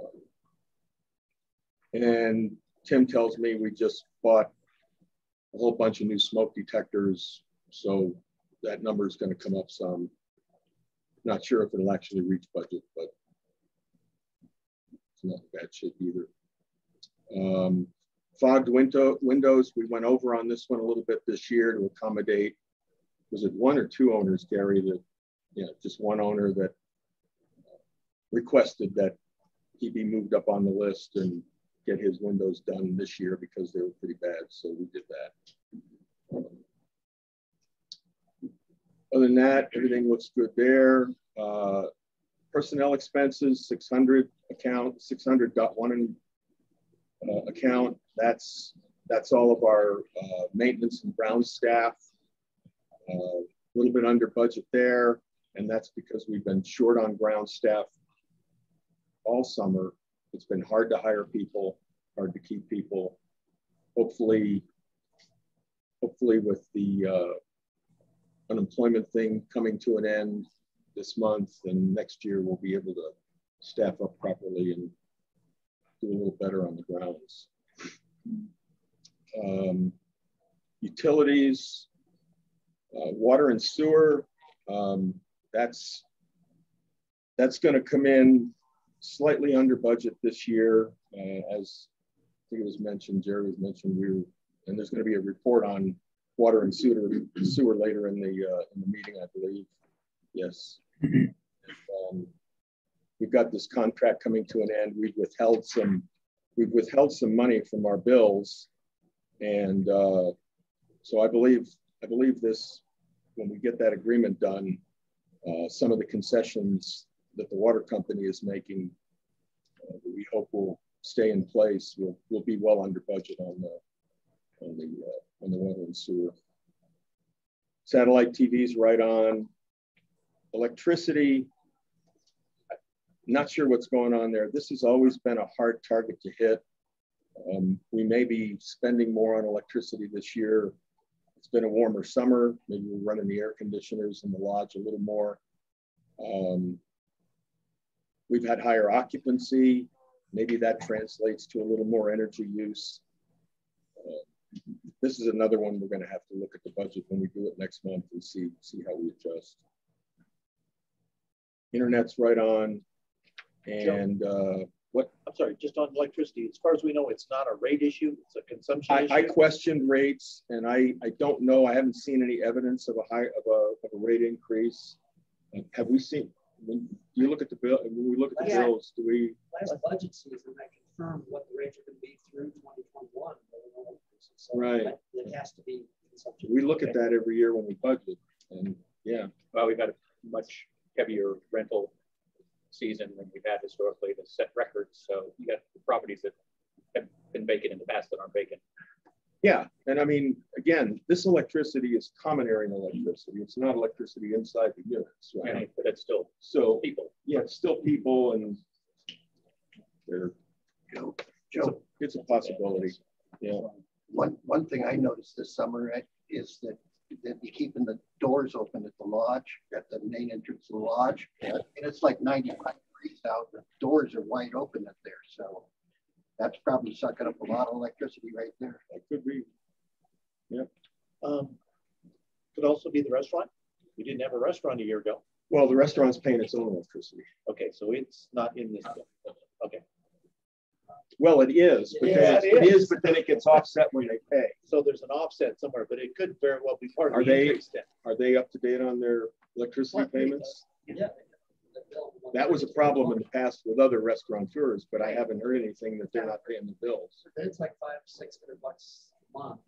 But they're current. And it- and it's on our bill. I don't know what the revenue shows. up. So Well, it the is revenue part of should, the- off- the revenue does offset. Yeah, Yeah. right. So that's not, that's good. So it's not that. Yeah, maybe six thousand, not much. Uh, refuse service is over budget. Um, this summer, we, because of the high occupancy, we saw big problems with the dumpsters at both Pinecone and High Point We, with uh, overflowing. We actually added a recycle bin. You added a recycle year bin, In the lodge, and we also bumped the capacity on High Point, Pinecone. Right. from four to eight. Yeah, so we've got bigger dumpsters in both High Point and and uh, Pinecone. Yep. But um, so we're looking good on the bottom line. We're we're we're under budget overall on expenses uh, and net. So we're in, we're in really good shape. Uh, let's go to capital, Gary.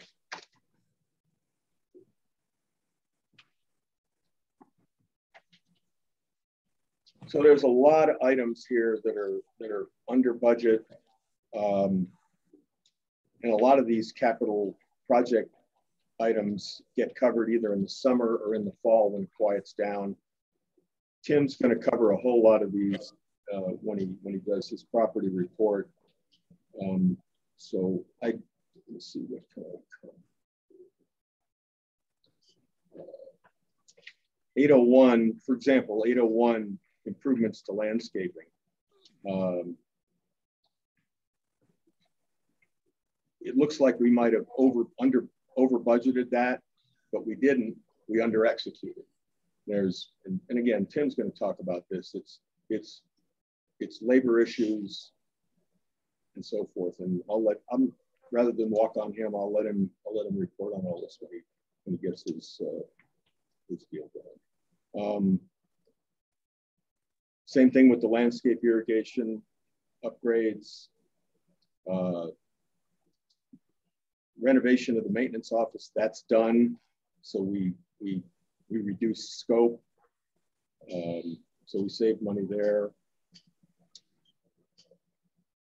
The storage lockers and cages on the second floor, adding our ability to offer storage to owners. That's done, that came in under budget.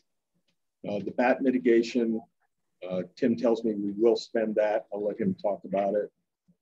Um, the rear deck railings in Gamble Oak, we'll do that. That'll get done.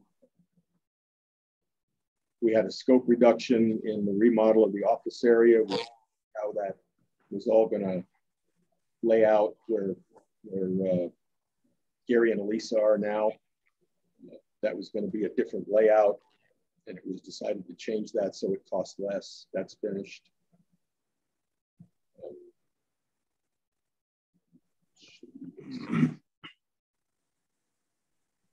This 815 landscaping per glacier agreement, this was something we, it was tied into the 20, 2017 agreement we have with Glacier regarding the, the lease on the pool and fitness that we gave up and the memberships that you're all enjoying now, for most of you anyway. Um, there was supposed to be some landscape work done. It was never done. We took it out of the budget. We put it back in this year as a place mark because we expected possibly to do something with that. And now we've made some agreements with Glacier on some on some property signage. And so that'll that 815 will go away when we do our budget for next year. Security cameras, uh, we put in quite a few more security cameras than we anticipated. So we spent more money on that. I did notice on on your on the was it on the website or on a communication where we're going to get oh it was in the in the newsletter we're going to be able to now look online and see all four areas with with webcams yeah. nice well, yeah, you're going to give an update on that right okay yeah so tim will talk about that too are those the, the cameras for like just around here or is that the in the parking lots okay and here well, I mean, I had, we, I had read that, you know, like people could ask for cameras to be pointed towards their door. That's a different. That's a different subject. Yeah. we had talked last year in one of the board meetings about um, giving owners the ability to, you know, is, is the snow falling? You know, what do the parking lots look like? Gary sends out a nasty gram about looking your cars. You know, is my car there? So, you know, those kind of things that just and, and security. That was the other thing. Yeah.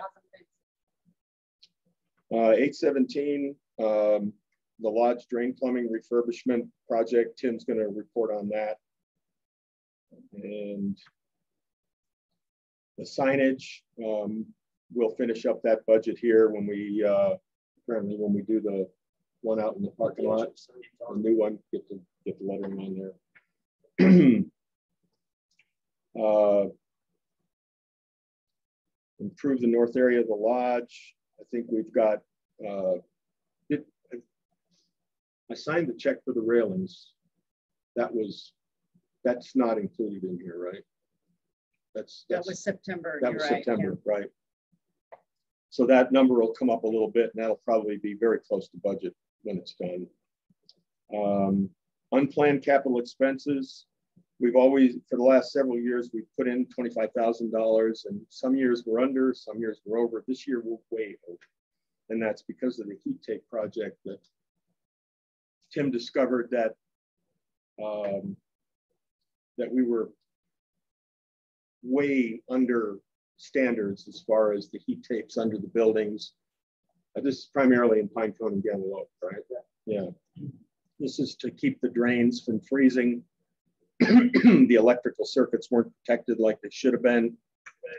Potential fire hazard. Tim recognized this and it's all been fixed.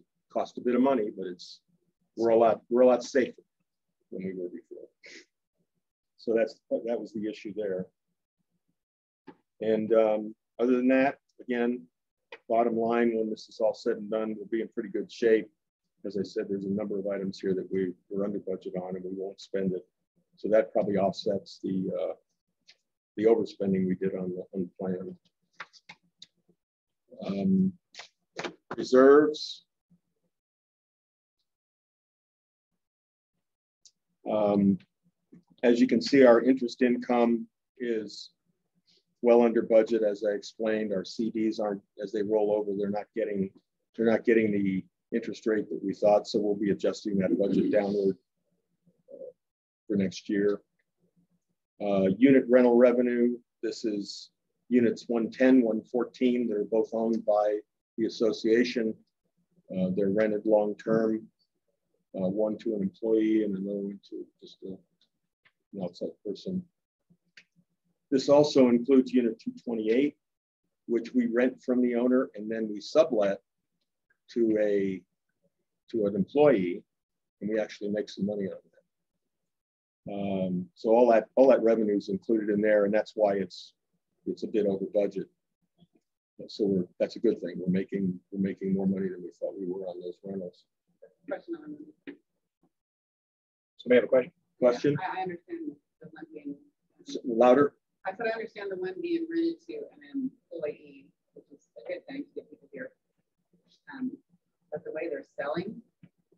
Eh, This is something I was planning to bring up with the board, and we'll probably do it in executive session. Okay, Yeah, thank you. yeah, it. yeah. I good point, and it- and it's wrong. Problem we didn't have before this year. Yeah. Exactly. No, no, I mean, it's, I mean, you're absolutely right. 110, we paid 80,000 for it to get a bad owner out of here. And that, that's, there's money on the table there. And the owner's still she's never coming back. um, anyway, uh, looking, we'll be looking good uh, at, at uh, year end for the uh, for the reserves. By year end, we should be up over eight hundred thousand dollars in reserves. So looking good.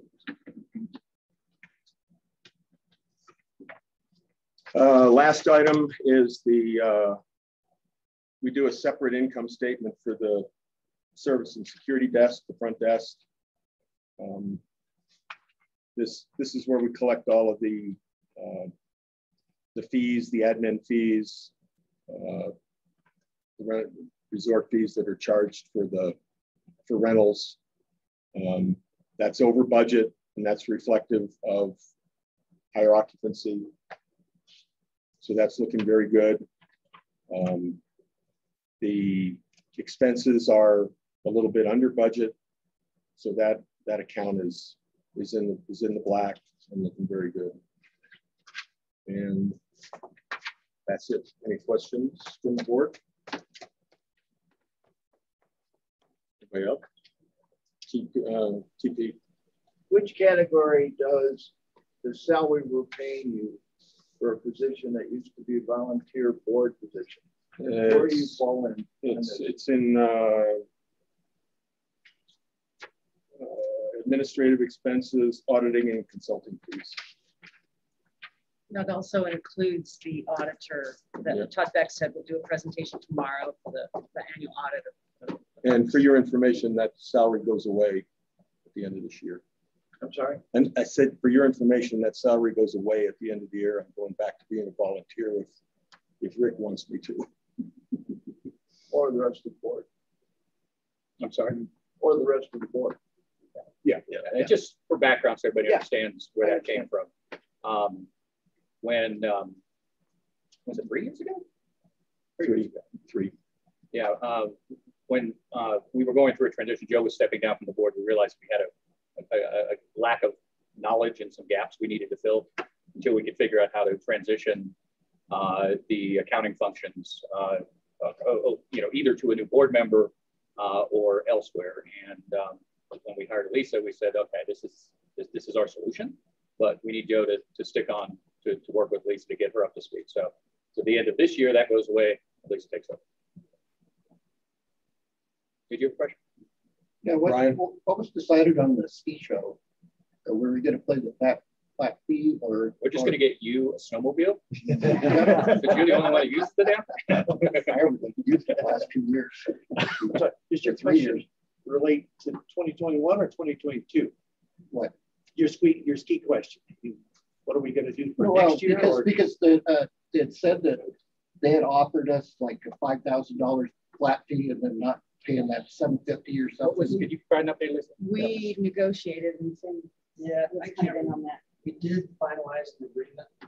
It's going up next year. It went up, uh, and they were gonna cut down on the days, we expanded the number of days to include high season. Uh, I can share a copy of the agreement with anybody. It's going up to I don't have- 5,000. I don't have an update that. Yeah, it's going up to five thousand. And then it's still gonna have limited time, but I think we got some language in there that protects us in case, in, in like Christmas season and Yeah. President's Weekend, uh, Spring break. spring break, where, where they might need more shuttles. So we- it's the best we can do. I mean, it's, Yeah, but we're not gonna have to sit there and. We don't have Count for every person that rides it. That, that must have been a nightmare doing that. Yes. You just pay them the five thousand. it's just a flat fee now, so we don't do it. So that saves But you still have to, you still have to reserve. Yeah. Because there's a cap on how many riders there can be on a day. Any other questions? There's some questions up there, Gary. Um,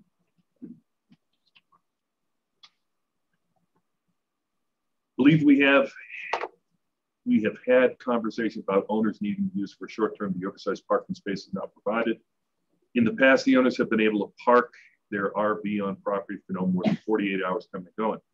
Do we as owners need now to pay for the use of oversized spaces for that 24 to 48 hours? This is a board decision. Is this a board decision or operations staff decision? That's not a question for me. Um, and then there's a question uh, I missed who's providing the budget review. That's Joe Carey, um, board treasurer. So, Jim, you may need to chime in here because I don't remember the exact details of the of the uh, oversized parking. Yeah. We charge a uh, a fee, and there's how many spaces? Nine. Nine. And It's transitional. What they're talking about is less than 48 hours for an owner. yeah, I understand. Yeah, Yeah, that didn't change. That didn't change, An owner can come in and they have a couple of days to park what they need to park to get you know, furniture and equipment in and out of the unit. Okay. That is not, that they do not require an oversized parking spot for that activity. But that's only not an in those RV, spots, That RVs. Only in those spots, or they can park in front of their unit. I think that, very correctly if I'm wrong, but I think the rule says that they can park in close proximity to their unit for unloading and loading purposes. For two days. Correct. Yes. And that used to be twenty-four max. hours. When did that change? I don't, Big pardon? It used to be twenty-four hours. When did it go? I believe it was 48 hours. This was a year or two, three ago. Two ago? Yeah, it could change. The, the problem that we have is somebody parks their RV in front of a unit and then you don't see any activity there for 36 of those 48 hours. Well, they're not loading and unloading, you know, and that's, that becomes a problem. Or they park in the, the, oversized parking areas and other people want to use it. This is a problem mostly in the summer. Um, and they're not loading and unloading, you know. It's, it's a policing issue that is a huge headache. So was that the question? I thought the question was, can they park their RV there for 40 hours? Not that. Question- It said RV, it did say RV. It did say RV, and yes, That's because they're, they're, no, they're traveling in their RV to get here. Well, it, it- that wasn't specific on, it- on what it said. It said, can they park their RV for 24 to 48 hours? I think what we're saying is we would treat that, and correct me if I've got this wrong, but we would treat that like we would treat a, you know, a trailer policy or anything else, where if you're loading and unloading, you can do it for 24 to 48 hours, right? correct. Correct. If they're, if they're just coming here in their RV, they're gonna stay in their RV, or ju- they're just gonna park it, no, they can't, they can't just leave it there. It can't just be left there That's- that's unattended. who- that's. How do you enforce that? Exactly. Exactly. That's the point. Yeah, And all, all, all we can do is, if, if we have an issue, somebody needs to report it, and we'll try to contact the owner. I mean, first of all, I don't know, this may sound crass, but why the hell aren't they staying in their unit? No, I But- think, I think they're probably just driving here and there. No, I get it. Yeah, yeah. Well, I think it's a little deeper than that. They're leveling You know, I'm, I'm seeing them leveling their unit. Yeah. You don't, you don't have to level it. So the kids are sleeping. Somebody's sleeping. Yeah. Yeah, and if Again, you I'm not here all the time, see so you guys see let more us than that. know, yeah, because we don't, Is we that- wouldn't see the leveling, but that's, Is there, that's is there great a information. prohibition of staying in an RV? Yes. Yes, we we talked about We that talked about that last meeting. board meeting. Yeah, so, so it's, it's not Temporary park parking, it's not, occupied. it- yeah, It's it's not, only park. it's not intended to be overflow for family. we're not Walmart. Right. Exactly. So I've noticed that the ones in Pinecone, no, non-display of the hang tags. Are they, are, are folks being told that they need to, that tank, that yellow green tag needs to be visible? I believe they're being told. I don't see those people. but I believe they're being There was- told that they have to hang one. But the, the question is, you know, if it if it's a trailer, where do you put the hang tag on? Which the trailer? window? Well, tape, You know, just tape it to a window. The hitch, The, tape Yeah, it to the anywhere. hitch So some Anywhere. people are detaching and then putting it on their truck window and the truck's parked somewhere else. Yeah, So There's a right. confusion there. There were three, there were two razor trailers and that big white where Ron is today in the last week. And the whole week they were there and I never saw a hang tag. Right, There's- on and any can- of them. we there's do a have, hamper right now leveled out. yeah, so Yeah, we have a that's reservation. Ron. Yeah. And Ron has paid his, his fees. He's So we have a reservation. Well, you will be billing me. correct. And Correct, you haven't paid it yet. We have a reservation system. If you guys see a trailer in a parking, Thank reserved parking spot, you're welcome to call front desk and ask, if, who is this? Are they, did they pay? Is this legal? And we, we would like to know too. We try to keep an eye on it, but A couple of weeks ago, we had an RV park, I think it was in Gamble, in a parking spot. And they were living in it with the generator on twenty-four hours a day. With the generator. No. I mean, That needs to be reported. yeah, yeah, take a picture and send it in. tell Yeah. us. Well, Mark, but you know, we have maintenance people, we have Gary, everybody drives by this every day. Why put it back on us? guys, Well, Because We're- we're we're all community. owners. We, we all own this. yeah, if you have an We're you gotta all bring it up. responsible. I mean, we're not gonna read minds. we do get a lot from Sharon. She does help us. If know, you see it as a report stuff. father, make a phone call. Easy. Right, Mark, Um, and again, we're talking about the ten dollar a day slots, not trying to make that clear. As, um, TP said, there was a, gen- Gary may have heard it, it was right outside of the unit. It was chugging away. I never heard of generators. It's the first I'm hearing about Well, it. Yeah. there's a generator, in a big RV chugging away for at least a week. Yeah. Into the wee hours of the morning? Twenty-four hours, well, at least till ten o'clock, that's when I walk my two dogs. again, But- I mean, you my- gotta tell us. I- in my read of the rules, I think it's unclear whether people are allowed to stay in their ten dollar a night unit or not. I think the rules know how to make it crystal clear that they are not. We can certainly modify it. I agree. And, and, and I think that solves the problem. And keep in mind, we just put this policy in place with relative to the oversized vehicles and all of that, what, last board meeting?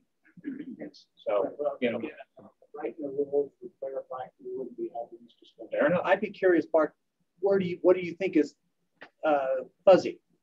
Help us understand what words you think are fuzzy, because certainly we intended to exclude exactly what you're talking about. Occupancy is not.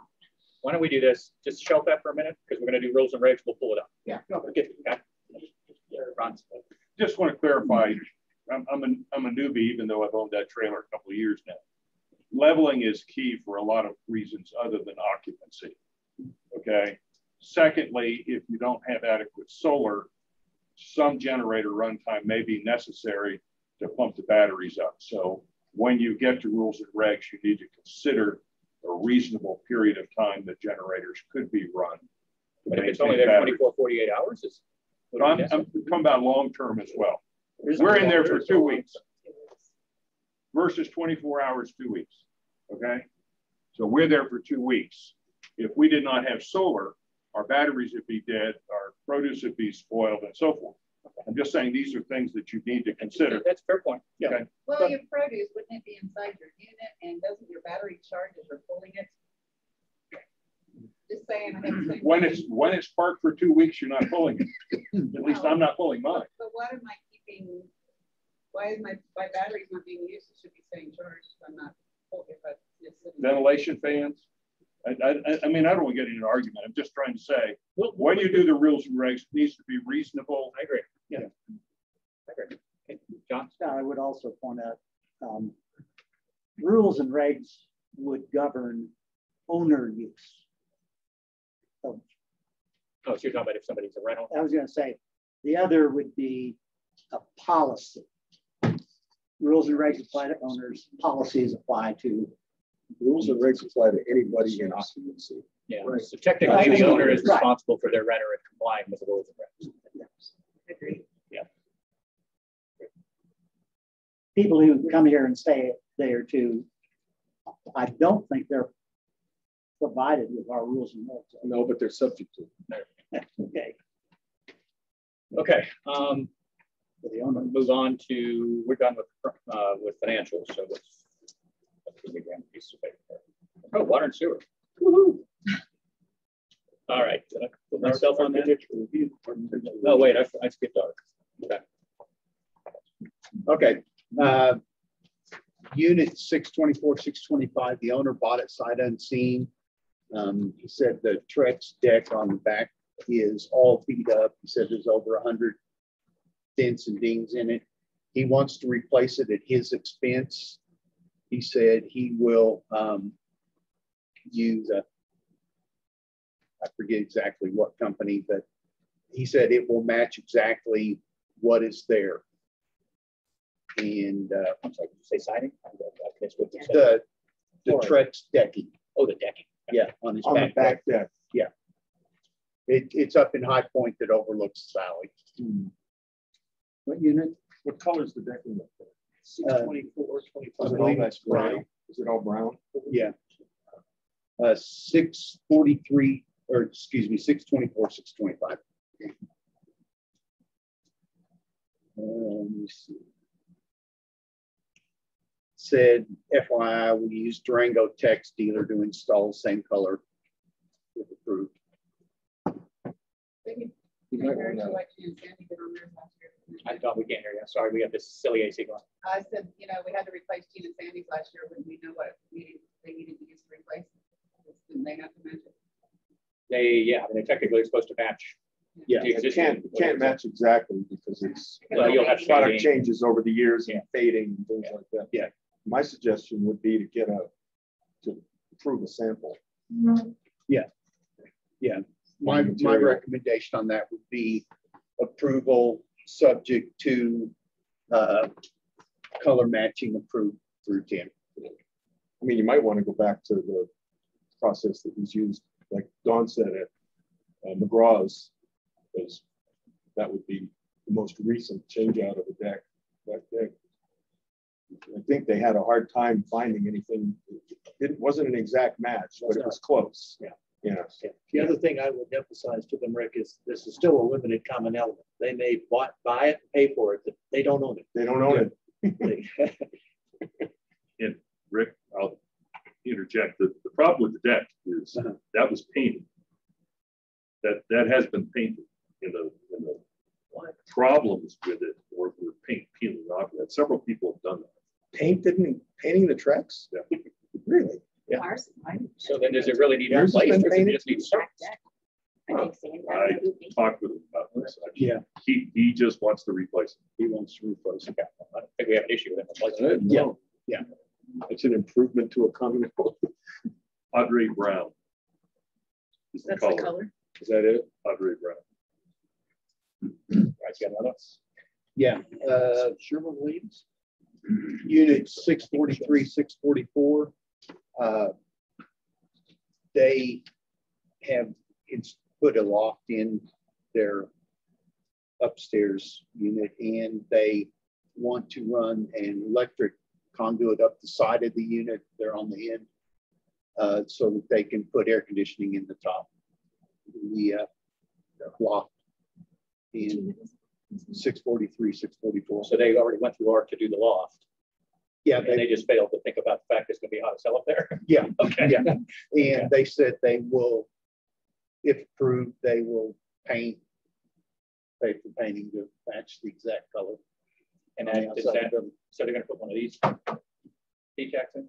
Um, No, they're gonna put in what's called a mini split or a split mini, whatever that is. It's gonna be outside. And they're gonna, they're gonna run something that is about the size and shape of a rain gutter up the side of the building. On the outside. On the outside. Hmm. Hmm. Where are they gonna put the condenser? Uh, That I, no, Well, that's an exterior mount too. Hmm, I believe that's exterior, it's probably gonna be underneath the unit, but I don't know. So is there, I mean, that would, that would stand out, obviously, what, what, what, what, it's a lot, you No, six forty. six forty. Okay. It's up in High Point. So we're, from a visibility perspective, what's, what's backing up to it, what's, Um, it's just, it's next to a unit. have they submitted plans? They submitted plans yet. Did, do they have, do they have a county permit for the loft? Not supposed to be living in lofts. I don't know why they need air conditioning, if they're just using it for storage. It's an ANSU. Okay, still doesn't answer my question. Do they have a permit for occupancy up there? I The don't living think space you're is calling a loft, because every one of our units has a loft, so what are you Yeah, no, no, not, not, not necessarily true. Some lofts are for storage only. We, we've had owners redo lofts that are for storage, not for living. right? And it sounds to me like they're living there, and that's okay, as long as they've got a permit from the county to do that. I just don't want us to be a party to some unauthorized violation of county, uh, law. Regs, not law, not law. Yeah, I, I, I mean, I, I can't picture this Yeah. in my hand, in my head, so I guess I need, we need to have some yeah, we plans. need- Not not to mention, that if you're gonna let until one person do it, whether Right. it shows or not, then anybody can do it. Yeah, that's, that's why I want to see what it's gonna look like, because otherwise we're gonna create a mess. Yeah. Is- I mean, is there some reason why they can't do it inside the unit? It's more Just I don't, I don't know. I have not spoken to them. I mean, my, my, I mean, number one, we need to shelve it for now. Yeah. But my immediate reaction is if they're gonna do anything like that, it would have to be a VTAC, so it looks the same as everything else. Um, But we need to get more information on it. Yeah, because it- it may be that was one of the units um, when originally remodeled, uh, air conditioning was optional, and there was not air conditioning put in. At that time. Because I don't think that these owners built the loft. If a loft was built, I don't, It's storms, right, and I don't think that they, van storm. I don't think that they built, built Is the this loft. an ASU? Yeah. Most of those lofts were added at some point in time over the years. Yeah. There was a few originals, but. most of Yeah. So, okay. Um, and then unit eight twenty-two, uh, the owner just wants to install a window and it faces out into the trees. So there's no issue there. Okay. Just needs to, exterior just needs to match existing windows. So, um, and then there was another request, an owner wants to put in some type of hanging fireplace that swivels around. And to do that, he would need to run a gas line on the inside up the wall to the ceiling and hanging down. Um, it's not an exterior thing, but to me, That sounds like a fire hazard. it sounds like fire hazard. And showed me this, and I'm trying to envision how this thing has a, a burner down here, which means there's a gas line, and it rotates. And is there some kind of a rotating gas fitting? I don't know. I don't like the sound of that. I'm opposed, I'm opposed to anything like that. They We have originally, plenty of fireplace approvals that have precedent that we can address, but Yeah. this one sounds a little wonky to me. Yeah. this was originally gonna be a, a wood burning fireplace, and I, and I talked to them, and said, that's not gonna happen, you can't have a wood burning fireplace. But they have a gas version available. And so that's what they were planning to do. What's, what's the unit? Where's it at? Uh, eight thirty-six. This thing looks like a flying saucer on a suspender. Is there a reason why they couldn't go with a traditional I think they want electric. fireplace like we approved dozens of them? I don't know, but I'm, I'm, It's I'm the opposed aesthetic to it. that goes with the rest of their Yeah. remodel. It's really Real, uh, modern, it's modern looking. Well, kind of can almost um, uh, mid-century modern in that, because it looks, it reminds me of the seventies, kind of funky or sixties. If it is an approved gas fixture, the rotating fixture, why would you deny it? If it is an industry fixture for that gas to rotate, why would you deny it? I think we need to understand the, the totality of this. If, if they were to provide We- we all the specs, then you, then you could assess we, we, we could certainly consider any, but we have set, we have many, many precedents already in place for fireplace approvals. So I think we need to look at it and understand. I, my concern would be you've got a flame hanging from a ceiling. And if that ceiling were to fail, the hook were to fail, then you've got a live flame dropping onto the floor. It's basically a Well, you have a broken gas line too. You have broken gas line too. It's a chimney. It- It's a, how big around is that, Gary? Ten inches? It's about, yeah. Yeah, and it goes all the way to the ceiling and then up through the the roof penetration. Okay, because he said hang. Well, it does. It's the, envision, envision a ten inch tube. that It was- goes all the way up was- through the ceiling and it hangs at, what, two feet above the floor? Right. And it looks like a a flying saucer with a, with an opening attached to it. And that's where the flame is. And it can be, I don't know if it's continuously rotating or you could just move it ninety degrees. I don't know. So it's basically, you've got a collar up above the roof line that's essentially holding this thing in place. Yeah. No. I don't know how much Yeah, it weighs. say, I don't think we have enough information. I don't think we would approve anything like this without talking to Well, the, insurance the company. running the gas line up a wall and over, Yeah. it, and there's no place in the ceiling to run a gas line. Remember, these Yeah. are solid ceilings. It, it would, yeah. Would he, is this, I talked to Jeremiah yesterday, he's the contractor that's doing that. Um, he, they're taking, I think they're gutting that entire floor to ceiling. Yeah, I know, It's but fine. that's, but not the ceiling. Not the ceiling. The ceiling is, You have When you the look- wood underneath. any, the- any unit in Pinecone and Gamble Oak, when you look at the ceiling, that's your roof. Yeah. It's six inch tongue and groove with shingles on top. And you're looking at the bottom of it. There's no place to run anything inside there. So it'll be an. That's, that's it. So it'll be an exposed That's- pipe, just like your sprinkler system. How much does that even weigh? We're gonna suspend something from our structure. I don't know. I'd like to have. You need an engineering report for that. Yeah. That would be a concern. And keep in mind that not only is there a gas line coming down, the mechanism that's going to cause it to rotate, but there's also the venting that's gonna go up the same pipe where the gas is coming down. That also doesn't sound real good. I, I don't know, and I, I would guess that somebody has, some engineer has come up with this and Thanks. they, you know, they feel it's safe, but I, I don't know. But All those things are gonna be contained. in- Whether they're safe or not, we have to understand structurally how it fits into our property. You know, Tim brings up a good point. Again, I, I would be worried about our insurance company approving something like that. So at any rate, um, so you have, it's something obviously we need to check. So you, uh, have the challenge of turning that into a motion. Yeah. Okay. Let me suggest that there be one, I've got notes on Each one. for, I've got notes on the Trex issue. I've got notes on the installation of the window at eight twenty-two. It appears to me you're suggesting those are the two items yes. the board, Yes. and you're gonna propose Yes. action. I will make a motion that we approve the replacement of the Trex deck for unit six twenty-four, six twenty-five, and the installation of the window in unit eight twenty-two. Let's do one at a time. if you Okay.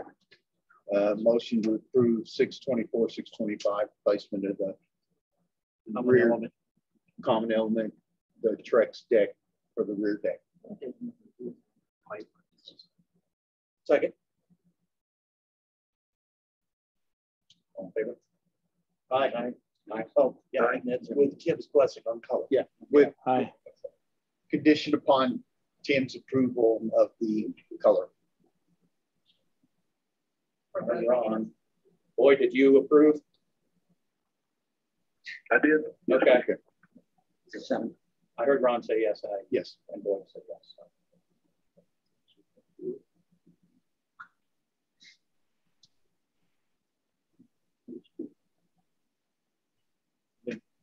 Second motion. Okay.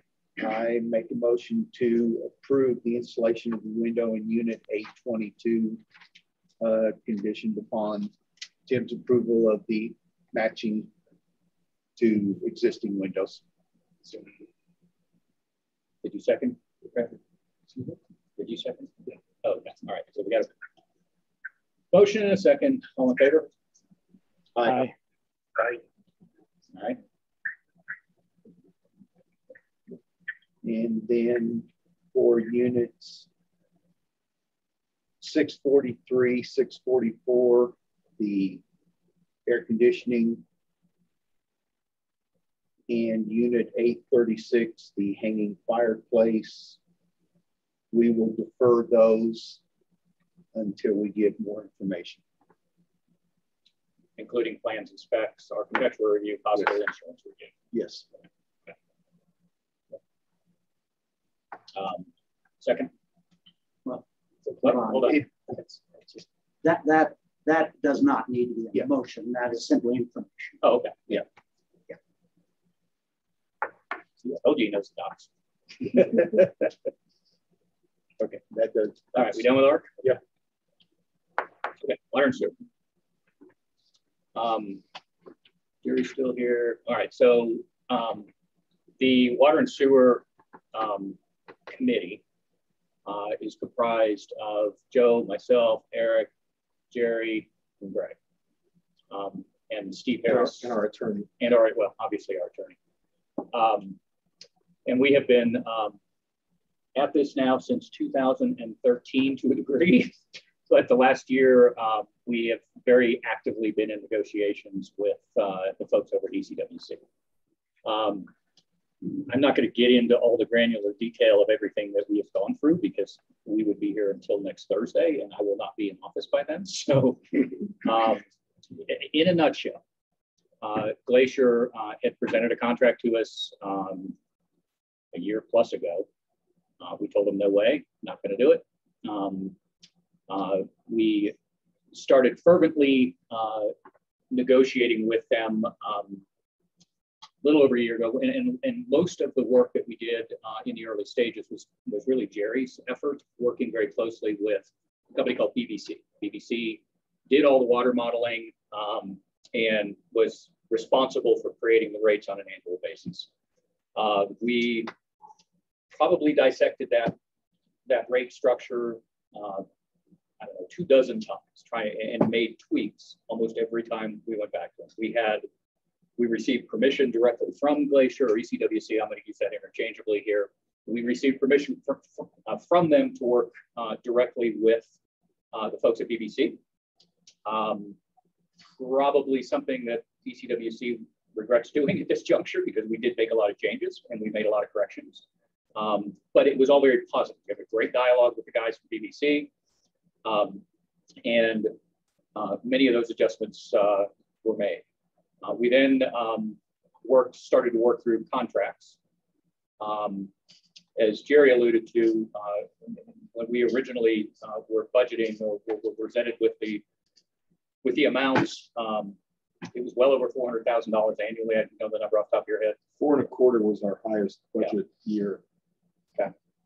Um, and we started working through uh, through the contract, and there were a lot of details in the contract that we worked through. Everything from uh, repayment of the debt, and, and, and for for everybody's uh, education, the the main uh, point that we were discussing was what we what we reference as debt service. Um, ECWC uh, has put a lot of uh, infrastructure in place to support the water that we receive, and it was debt incurred as a result of that and they wanted uh, and expected the users of uh, the water, uh, not just us, it's us, it's Rockwood, it's, they're all of them. Glacier. Glacier, but the other estates. Yeah. yeah. Village of Rockwood, estates of Rockwood, Rockwood Farview. Yeah. yeah. So um, we took issue with the uh, with the debt service. Uh, we felt that we had a contract in place that didn't allow them uh, to charge us for debt service. Um, we certainly uh, recognized the infrastructure uh, uh, improvements that were made, and we felt that we could find a compromise uh, in working through the issues that um, relative to, to, that debt service. Um, so we, in those negotiations, we convinced or agreed mutually for ECWC offered up to waive, and Jerry, you can correct me on all these dates when I probably screw them up, but um, to waive debt service that was incurred prior to 2018 uh, to the point of 2.667 million plus, I don't know, two, $300,000. Uh, in exchange for that, uh, we agreed uh, in principle uh, to uh, negotiate a, a, debt repayment on the improvements that have been made in know, since really from 2018 forward. Um, those negotiations have been ongoing literally up until yesterday. Um, we agreed on repayment of the debt uh, at a what 25 year amortization uh, at 6%. And keep in mind, that's not just us, that's all users of ECWC. Um, I'm going out of memory here, Jared, but it was like 4.8 million, more, more than that. What was the total of that? Five two. Five two. was the 2018 portion. Yeah, okay. Uh, long and short, here's where we're at today. Um, uh, we have gone back and uh, made tweaks to the contract. Uh, we got final approval of uh, some of the changes that we requested relative to uh, how the debt was going to be repaid, their application of payments uh, on a regular basis to the debt service, the way the, um, the debt was amortized. all of that has now been agreed to. we believe that we have a a formal agreement that we can mutually uh, agree to sign.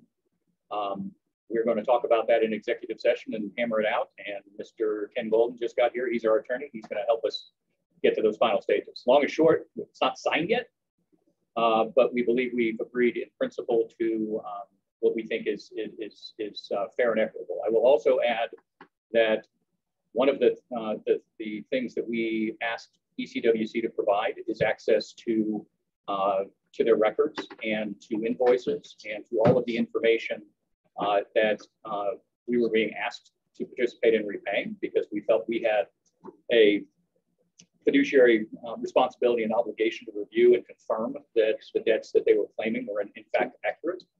Um, we had a team that I think consisted of Eric, Elisa, and Joe. Um, anybody else involved? The, to do the audit? Yes. Uh, just the three of us. Yeah. yeah uh, that spent time over at ECWC or Glacier, wherever it was, um, last week, two weeks ago, uh, to uh, validate that the um, uh, the expenses that we were being asked uh, to uh, repay were, were documented. Um, we've asked and received commitment that we will receive audited financials from them on a go-forward basis. Um, we are confident that the expenses that were incurred uh, are legitimate expenses and documented expenses uh, that will ultimately uh, you know, be confirmed with, with, with their final audit. Um, they, their last audit was for 2018, I think, and we're awaiting audited financials for 20 or for 19 and 20. Um, they've had some delays in getting those done, but they anticipate getting those to us shortly. So, um, Jerry, anything? Uh, not uh, not significantly. Uh, I will say that the original water and sewer agreement we had was dated in 1989, and it was with the predecessor. Of, you may need to speak up a little bit because I don't know if they can yeah, hear you. Okay, so yeah, the, the original agreement we were operating under was signed in 1989 with the predecessor uh, to uh, Carlton and Glacier, basically. Under that agreement, we had the right, Cameron, to review every year uh, their operations and their finances and have direct input into what the rates will be set out in the upcoming year. When, uh, Carlton uh, bought that portion of the property, uh, he signed an addendum to that agreement, or board president at that time signed it. And what it did was it, it replaced all of the rate business and our ability to challenge it or have direct input into it to something we paid, we paid a flat fee, both fee per year. And it started out at $279,000 per year. And built into that was that they they had the option to raise our rates by 3% every year, which they did almost without fail. That's how we wound up with 418,000. 420. 420,000, something like Something that yeah. in 2018, until this new Elbert Creek uh, water company stood up in 2019.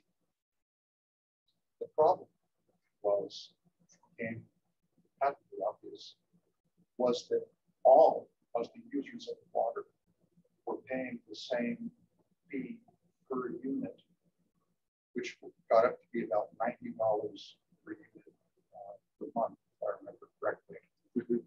That meant that we, each of our units were paying the same amount as the mansions back behind the. And they began charging us additionally for irrigation water on top of that. So it doesn't take the rocket scientist to try out. Uh, figure out that there was something not very equitable about that. And that's what we dug into. And the first analysis I did was 2016 for a full year where we metered our usage. We knew how much they produce. Our usage was 10% of, uh, of the water produced. And we were paying about set over 70% of the cost. So that's what happened. However, because all of the single home owners had this tremendous deal going on where they could irrigate to their heart's content and pay $90 a month, they didn't want to change anything. And Glacier, when we started, starting with John and, and Joe, and then me, beating on them to make some changes, well, guess what? They dragged their feet, and they dragged their feet, and they dragged their feet. But they eventually came around in 2019 to set up this new Creek Water Company. The reasons why they did that. But as part of the process, they they put in meters. They, they began putting in meters for all of the users so that the rates that people have to pay for the water were predicated not on a flat fee across the board, but on usage. And that was the whole key. It turns out that if they had imposed that without doing the upgrades to the infrastructure that they've done over the beginning in 2017, our annual water rate probably would be, let's see, uh, about a little over $200,000 a year. But because of the upgrades to the, uh, the domestic water treatment plant and the wastewater treatment plant, That's not done yet. That's not done. That's and that's not in the debt that's there that you talked about. Sure, that, Yeah. that's That's going to add to it. Sure, it's going to add to it. Yeah. Um, but that now constitutes um, a significant portion of what we pay for water and sewer each year. Okay. But the fact with all with the, and the debt service on those capital improvements for for us is running well over hundred thousand dollars a year. But everybody else now is paying that as well.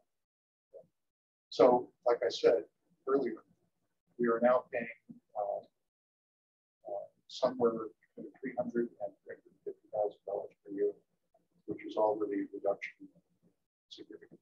Closer to the 300 than it is to the 350. Yeah. Uh, so, but the key that I want just the key to that uh, were two things.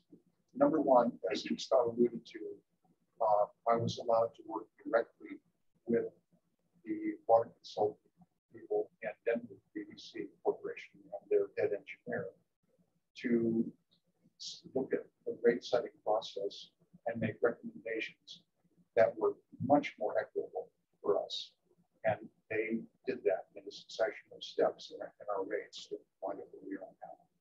So getting our rates in, in order uh, fair was, my mind at that point was number one because we were just basically getting screwed. The second thing was that, that our existing amendment to the, uh, the agreement that, uh, that was signed in 2002, 2003, um, expired 2013. And there was no provision for how our rates were going to be set after that. And basically what we did, we continued doing as they liked, doing what we had been doing for the last uh, years. Okay. So we clearly needed to get some sort of a breakthrough so we could get a new equitable agreement in place uh, that would serve all of the owners of the Tamarron and essentially the whole community as well. Um, and that's when the current committee stood up. And in my opinion, what allowed us to break the logjam was Scott talking directly across to his counterpart at ECWC in Glacier, which is Jim Goodman, the Chief Operating Officer. And them saying, look, let's let's dispense with a lot of the heckling and everything. Let's agree to some principles. Once we have those principles agreed to, then let's get the wording for contract agreement in place. That's what has, has happened over the last year. The other key point is that Scott alluded to was this business of fire debt service, because that was a significant portion of what we were paying in the water fees and what everybody else was paying. Because by our previous agreement, we were not liable to pay for any infrastructure development because we were paying a flat fee that they were supposed to use to do all of the maintenance and all the capital improvements they were supposed to do, but they didn't. Um, we uh, uh, respond to that, but uh, we now uh, are able to make sure that the things are set up so that they are responsible for what they need to be responsible for, and that there is an equitable way to pass that debt service cost on to us. But what was in question, because our prior agreement, our prior agreement said that they were responsible for all of the improvements and the cost associated with it because everybody was in a particular paying them. That's not going to happen. So, um, that, but but it was again, it was Scott talking directly with Jim Goodman, I think, and wrote the log jam. And, and ultimately to Carl. Oh yeah, that's right. Yeah, I finally got. That's what really broke it free. That's true. Yeah. Right in, right within the last month or so. Yeah. I mean, suffice it to say, we've been at this for a very long time, and it does date back to 2013. Um, you know, did end up with uh, everything we wanted? No. The reality is, we uh, our options were simple. We find a way to compromise. We are users of the water. We are beneficiaries of their plant. Um, we could have played hardball, gone into a legal battle. Uh, uh, it wasn't the right thing, in our opinion, to get into a legal battle. Uh, because we would have spent a ridiculous amount of money. And at the end of the day, it was, uh, you know, the, the um, you know, board's uh, decision to move forward and try to negotiate the best we could and get the best deal that we could. And we think we've done it. Um, is it perfect? No, but again, we, there were compromises made on both sides. Uh, and I think, you know, we've gotten to a place where, where, where we are comfortable. Going into arbitration or legal battles, um, they got more zeros behind their pocketbook than we do. And, and I would also point out that, of course, we had uh, Ken as legal counsel watching and reviewing everything to make sure that Tamarron's interests were well represented in these negotiations with the contract. TP, TP. So in conclusion, do I understand, am I understanding that all of the work we did on property, installing all those meters for that extended period of time, that everybody kept saying were incorrect readings and they didn't accept them and they redid them. That's now back in place. And we're being charged strictly through that usage. We are, yes, everything is tracked and metered now so that we have, you know, true consumption numbers. We didn't install the meters. They did. Glacier did. Well, at their cost. Dave Dunn was out there many days working with them. You're thinking of the irrigation meters. No, the stuff that went to each building. Okay. Yeah, I mean, TP from, from 2013 to 2021, all meters have been installed. We have meters, we can measure consumption. And, and that is and that is what's being used in the formulas to create the rates. And we're watching that every month as we build. So we have capability at this point of internally reducing our water usage in many, many ways if we see so fit and will reduce our overall bill, correct? Yep. We would ask that you shower every day or change the toilet. Or, yes. And I, I would yes. just to chime in on the one point, there was at one point a large disagreement amongst the two parties about water loss. Right. It turns out it was a software issue within their billing system. There's no water loss. I should say, no water loss. There, there was not a huge issue on water loss. Yeah. But again, that was because us going back and forth, back to the well, back to the well. and Jerry just beating up uh, um, BBC's model until we finally got to the bottom. Yep. yep. And, you know, it was a big mea culpa from them. They came back and said, oops, we screwed up. And uh, glad we got to the bottom of it because we were convinced they were losing a ridiculous amount of water. Yeah. So any other questions? Is our irrigation fee the same as our potable water fee? They're different rates. Is is- potable water used for irrigation?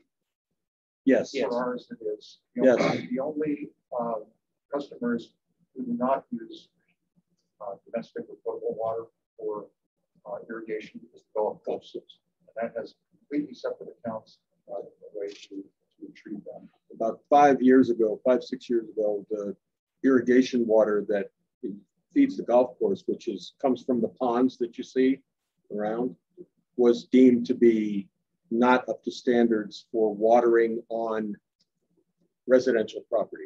Yeah. So we had to convert, at that time, we had to convert to domestic water for irrigation. That- And that was by Colorado. statute. Yeah, yeah, Colorado, that was Colorado Colorado children- statute said children that was a and legal that's- mandate, yeah. To that water irrigation. It had to be changed to.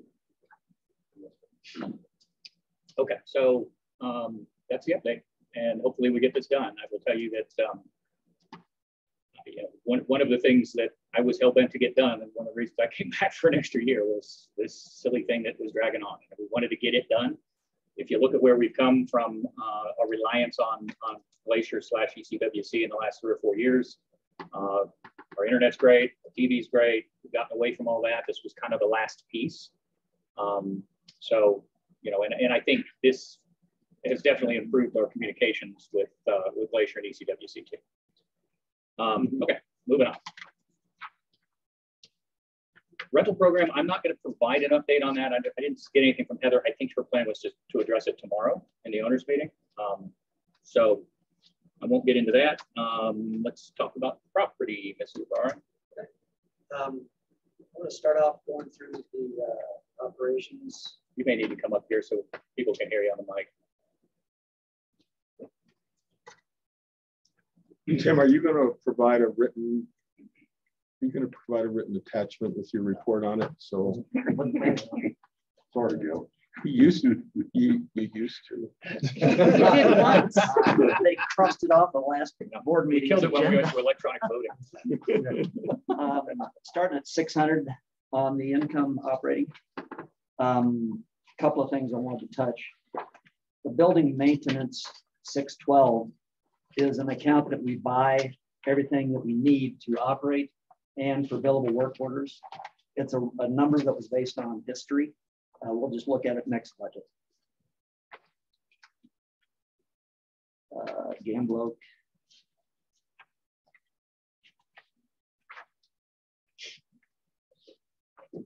Everything else was in pretty good shape. The uh, salaries thing is low. We are one strong person shy on our grounds people. Uh, Lisa and I updated our posting, and we hope to get somebody hired in the next few months.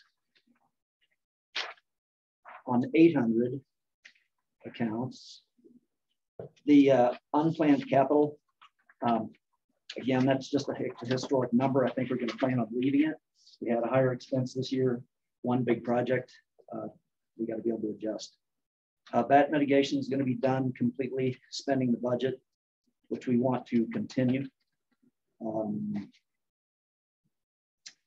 all of the projects that we planned on getting done this year will Jim, be executed. Yes, sir. On the bat mitigation, uh, seems to me less bat activity this year, at least in my corner of Pinecone. How about the rest of the property? You getting any, you seeing more bats, less bats? We've seen evidence up at High Point, and we've seen evidence in Pinecone. And we're going to have some numbers to put into the 2022 budget for bat mitigation. The lodge building is completely done. They finished up the program over about a four-year pro, uh, pro, uh, time period. And we paid, I think it was $7,000 this year to have a, a- an encompassing, fully encompassing uh, warranty for the next three years on the entire lodge building. So we've been at this, priorities. we've been at this about three years. Are, are we making progress? We've made big progress. Yeah, Okay. we, we're done with the lodge. We've done work at High Point. We've done, we've done work at the outliers on an as needed basis. Uh, we have the buildings in all of the locations prioritized and budgeted. So we'll have that conversation, you know, in the next couple months about what we want to do and why over the next couple of years. But it'll continue in the future because we still do have Leave, that. leave them alone in High Point. I want them to eat the mosquitoes. Uh, you don't want them in your building, but yours is the first building. Um, Anyway, the capital, I was pleased with the capital budgets this year.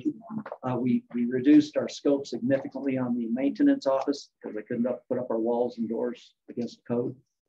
Um, I think Joe touched on the uh, admin area. We greatly reduced the cost in, in leaving uh, Sotheby's where they are. Uh, I think they're on a three-year lease. I would like to revisit that in a couple of years because I think it really truly would be better utilization of the space. But between them and us and some other projects that are higher priority, we all agreed that between us and the Sotheby's, you want to put that off for a few years. Um, Lodge drain plumbing project.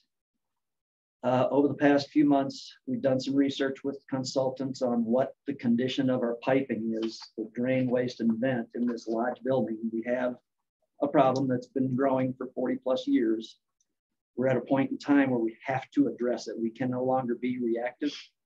Um, every week, we are doing a plumbing, a pipe replacement in this building, and it's horribly inefficient. It's horribly impactful on ownership and staff. Uh, so we have received a proposal from an engineer who specializes in lodge in plumbing piping replacement projects. And uh, we have a proposal from them.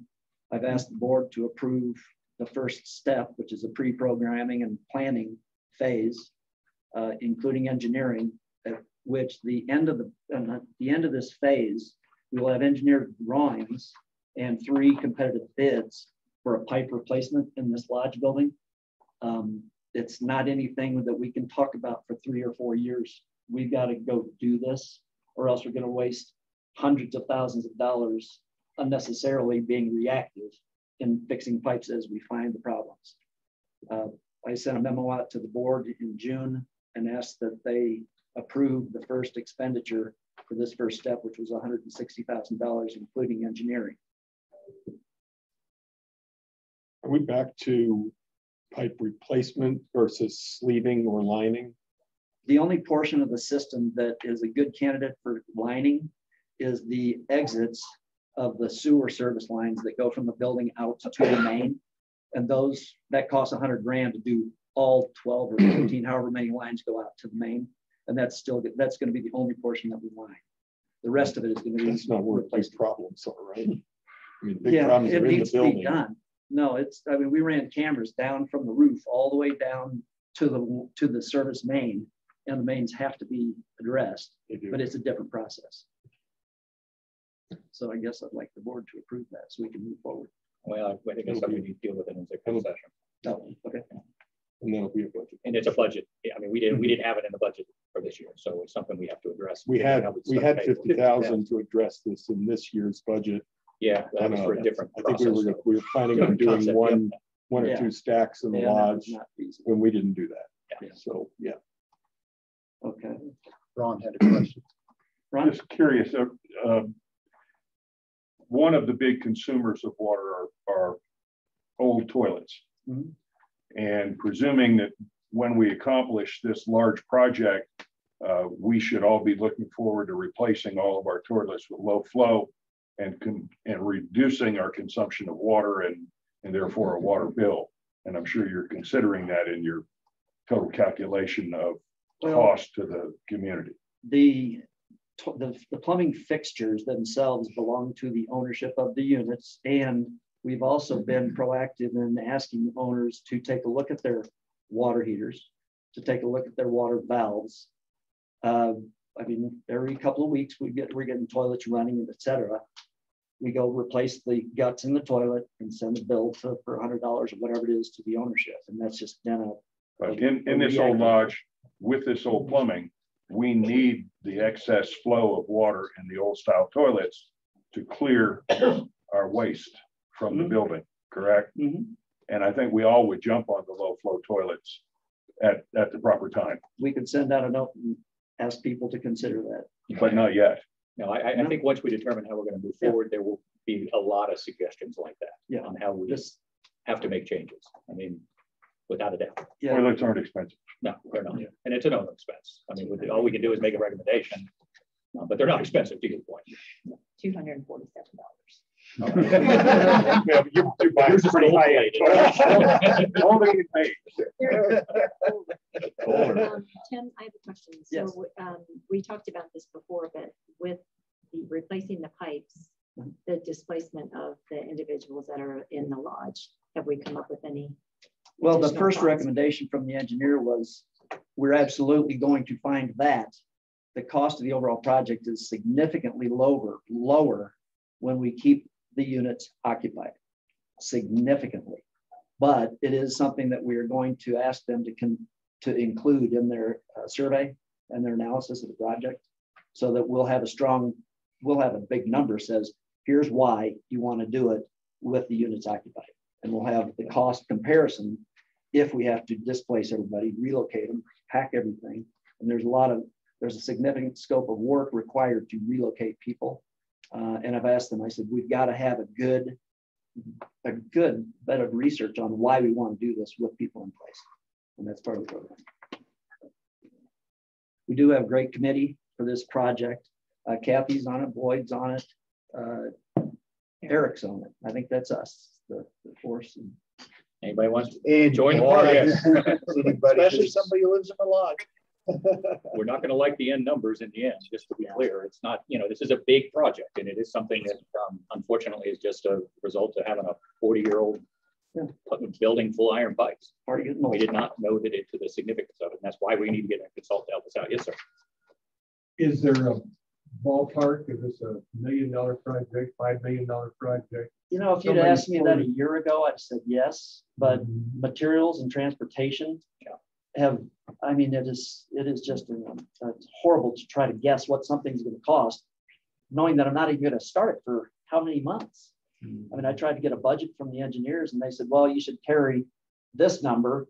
And then an hour before my last board meeting, they said, oh, you better triple it because of transportation and materials. So, you know, let's, let's just see what it's gonna cost when we get through the bidding process.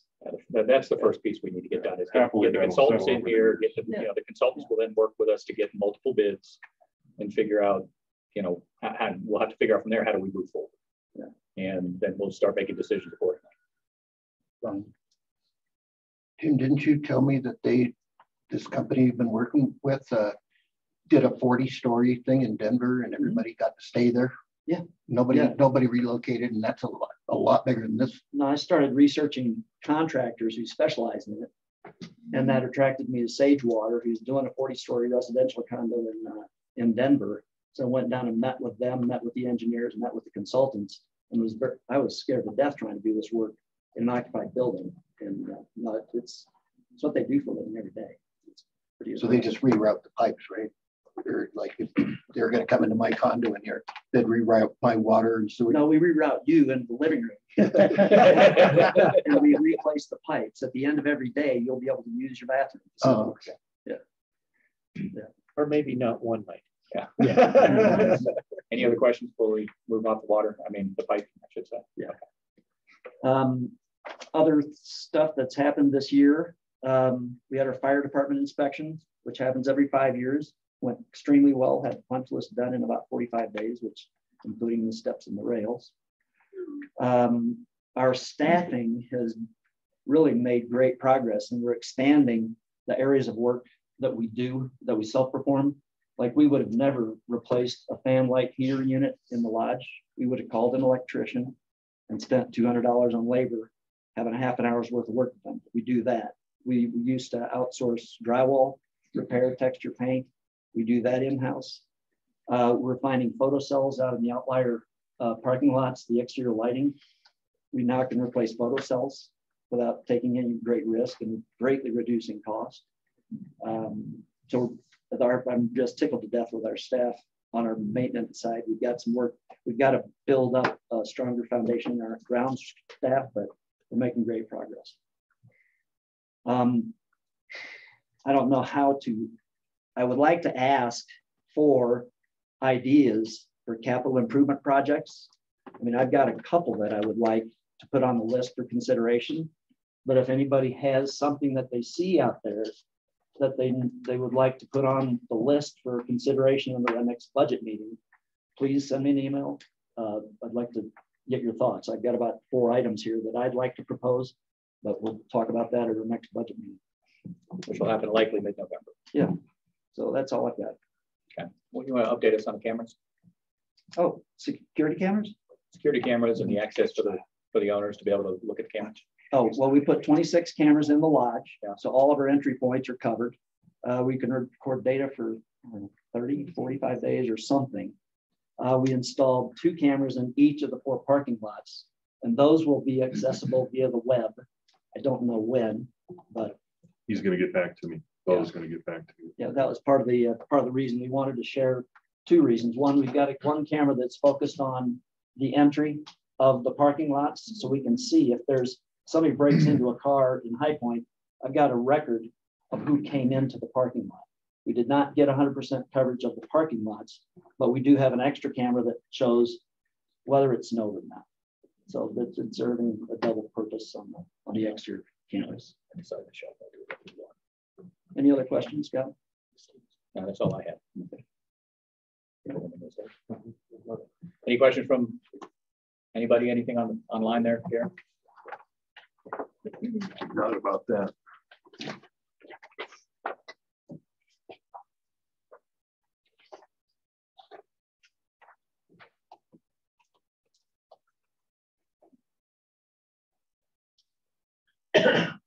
uh, there's comment about the fire thing and the board judging fire safety. We're not judging fire safety for the record. We're judging whether or not something like that can even be installed here. So, and it's been shelved. Um,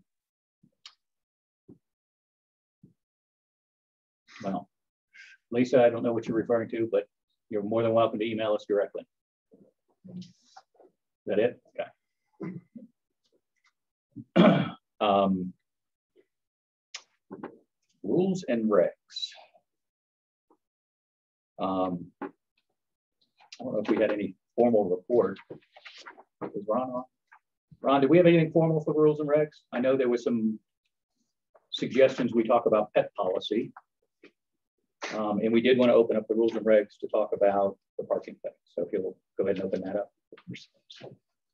Rules and regs, we open up a document to talk about our parking. Is that? Was that rules and regs or where was that? The parking, the long-term parking. Oversized vehicle. Is that, is that oh. covered in the rules and regs now? Because I, I'm looking at the parking and I don't see anything that talks about occupancy of a, of an RV. Yeah, it's not in there. If it's not in there, then that's, that's what we wanted to look at. And that's why I was wondering if, if that new thing with the, you know, the ten dollars a night for the reserved parking, is that a policy somewhere else?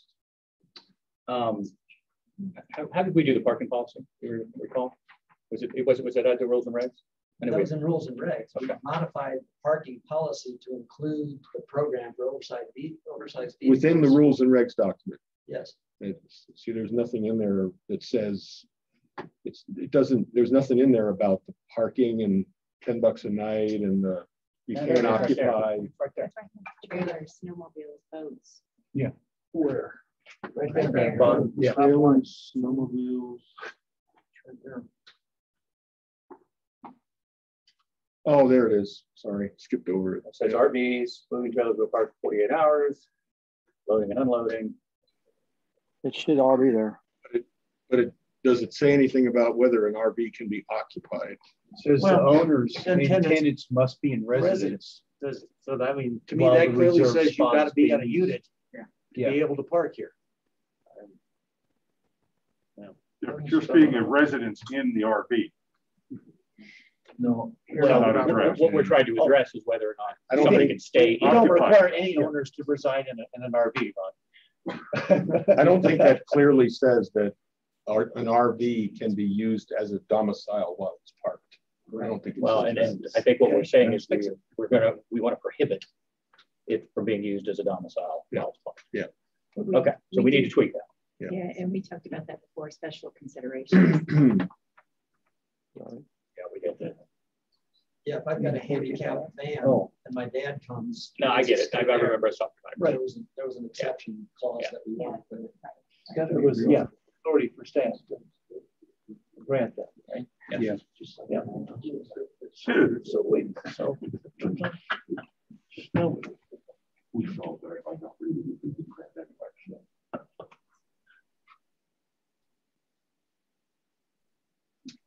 Some more trailers.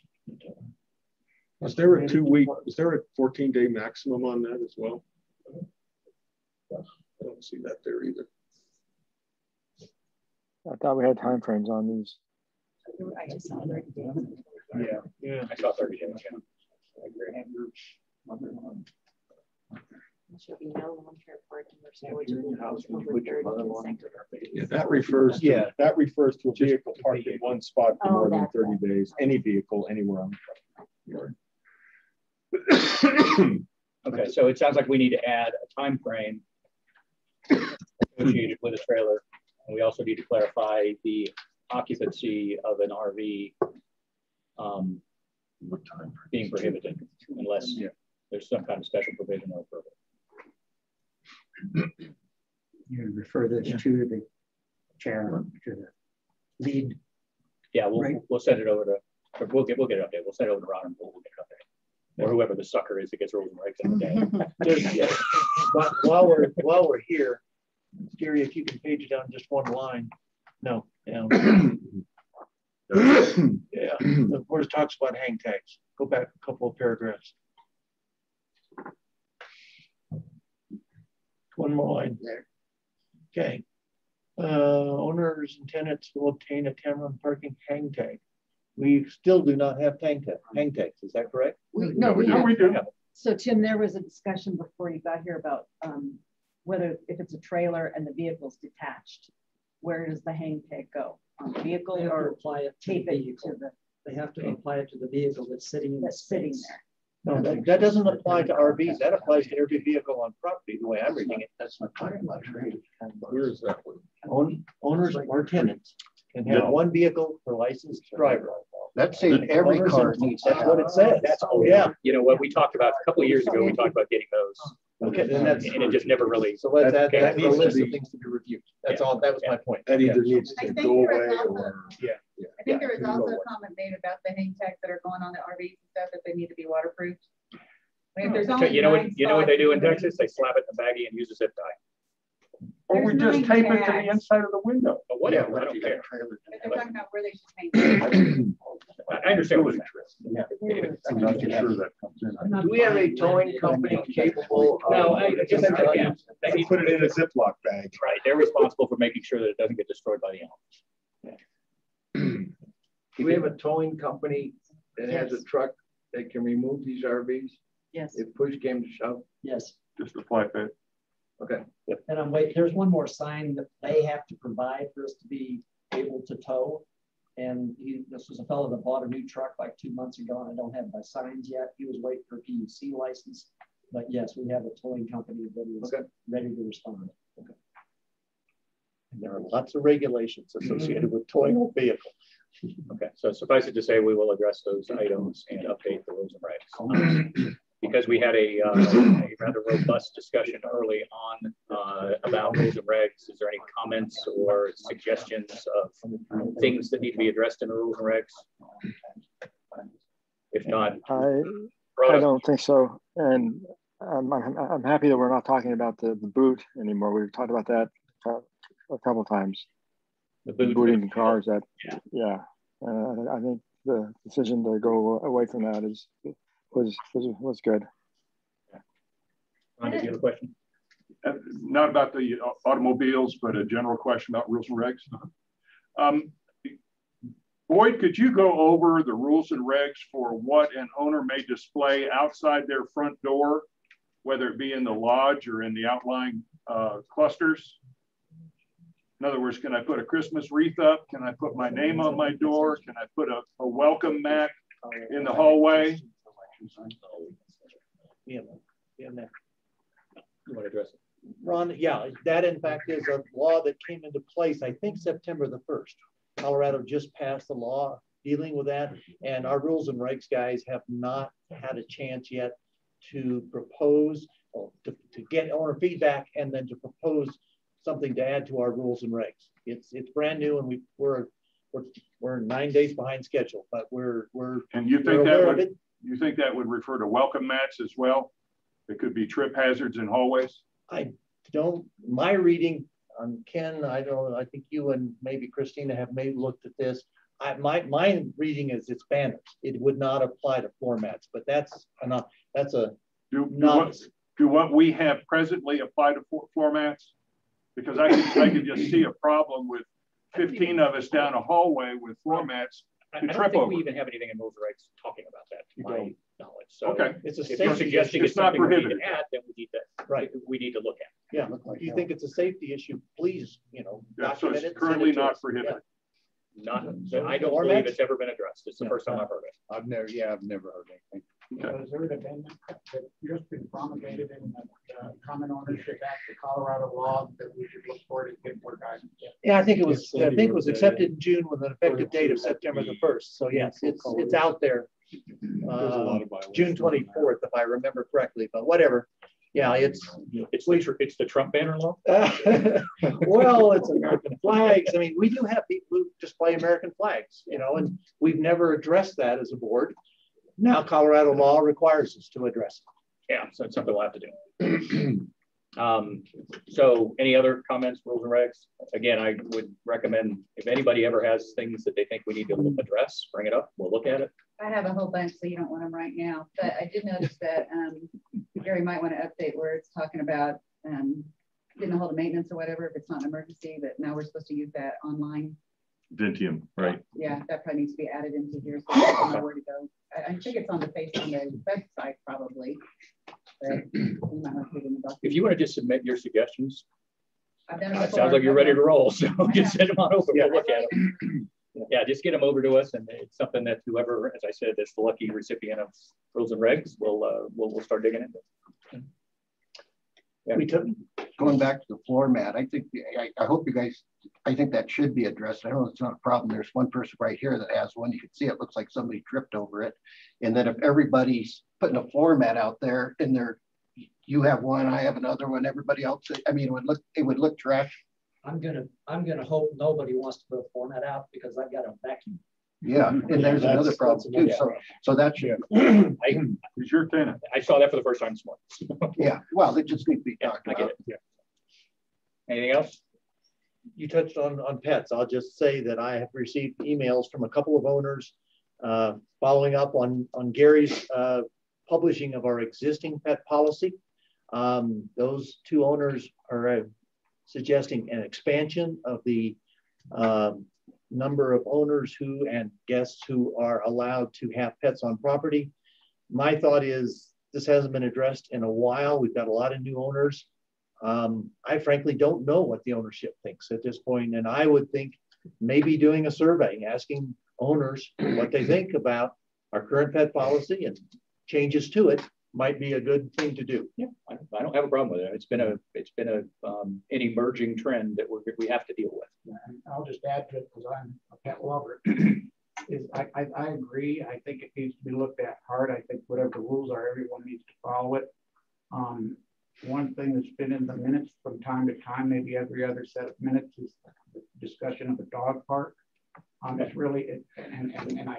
You want to donate some land? Let's buy it first. No property something do with Glacier. There's just no doubt. There's no other way. We, we've it. had discussions with them and we'll continue to try to solve it's hard to have, um, you know, for, for, dog owners, other than going off site, um, it's hard to comply with the rules as they are. But we do.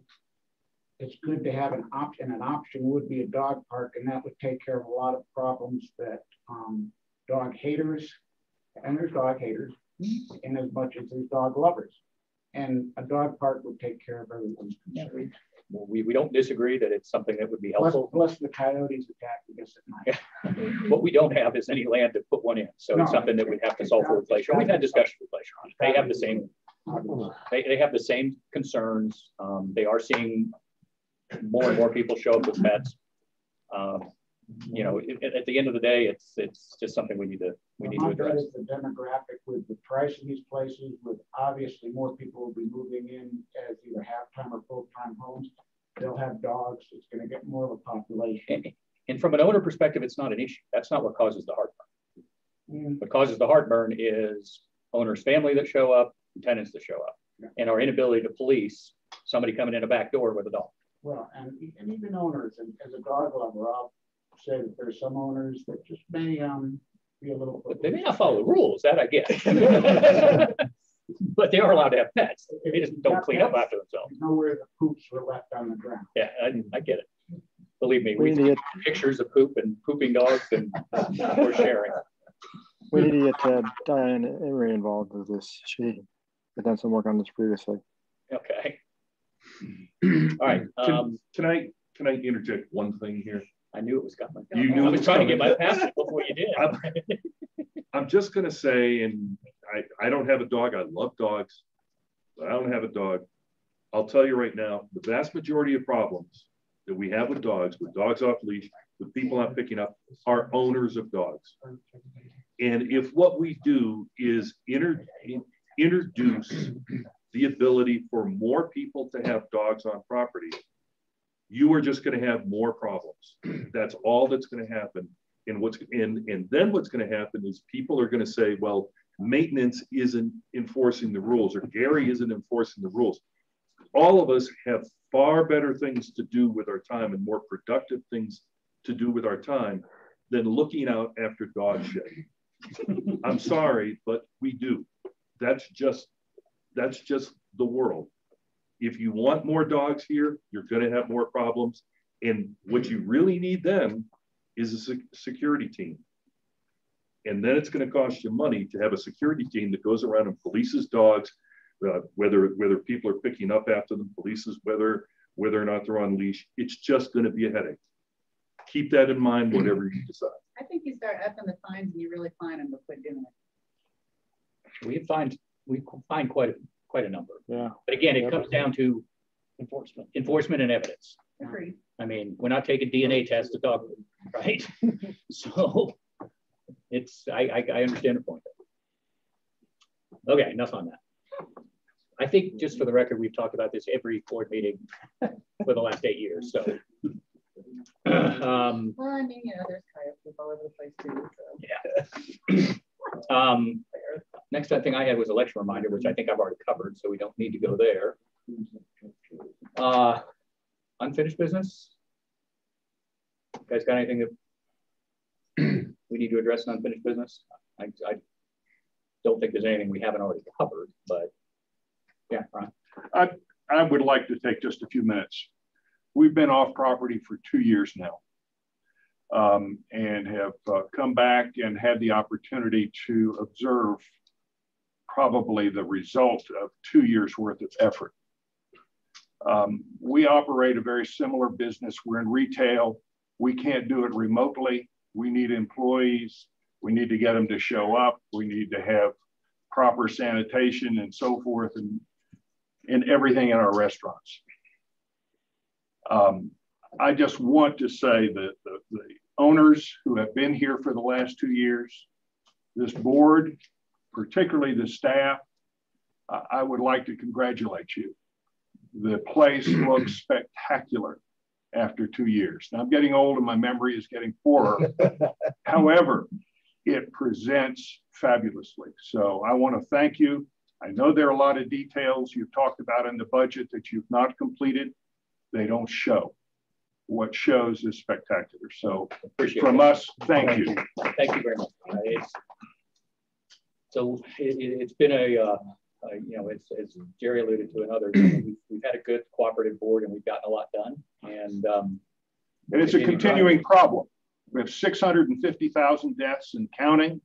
Our hospital ICU beds are absolutely full. This is far from over. Um, we are not going to find an employee in two months' time. I don't care what kind of ad you put out. You're going to go through a number of because they're not going to like the pay. They're not going to like the, the conditions. It is a way of life until we can destroy COVID or beat it down to the point where it's only a flu.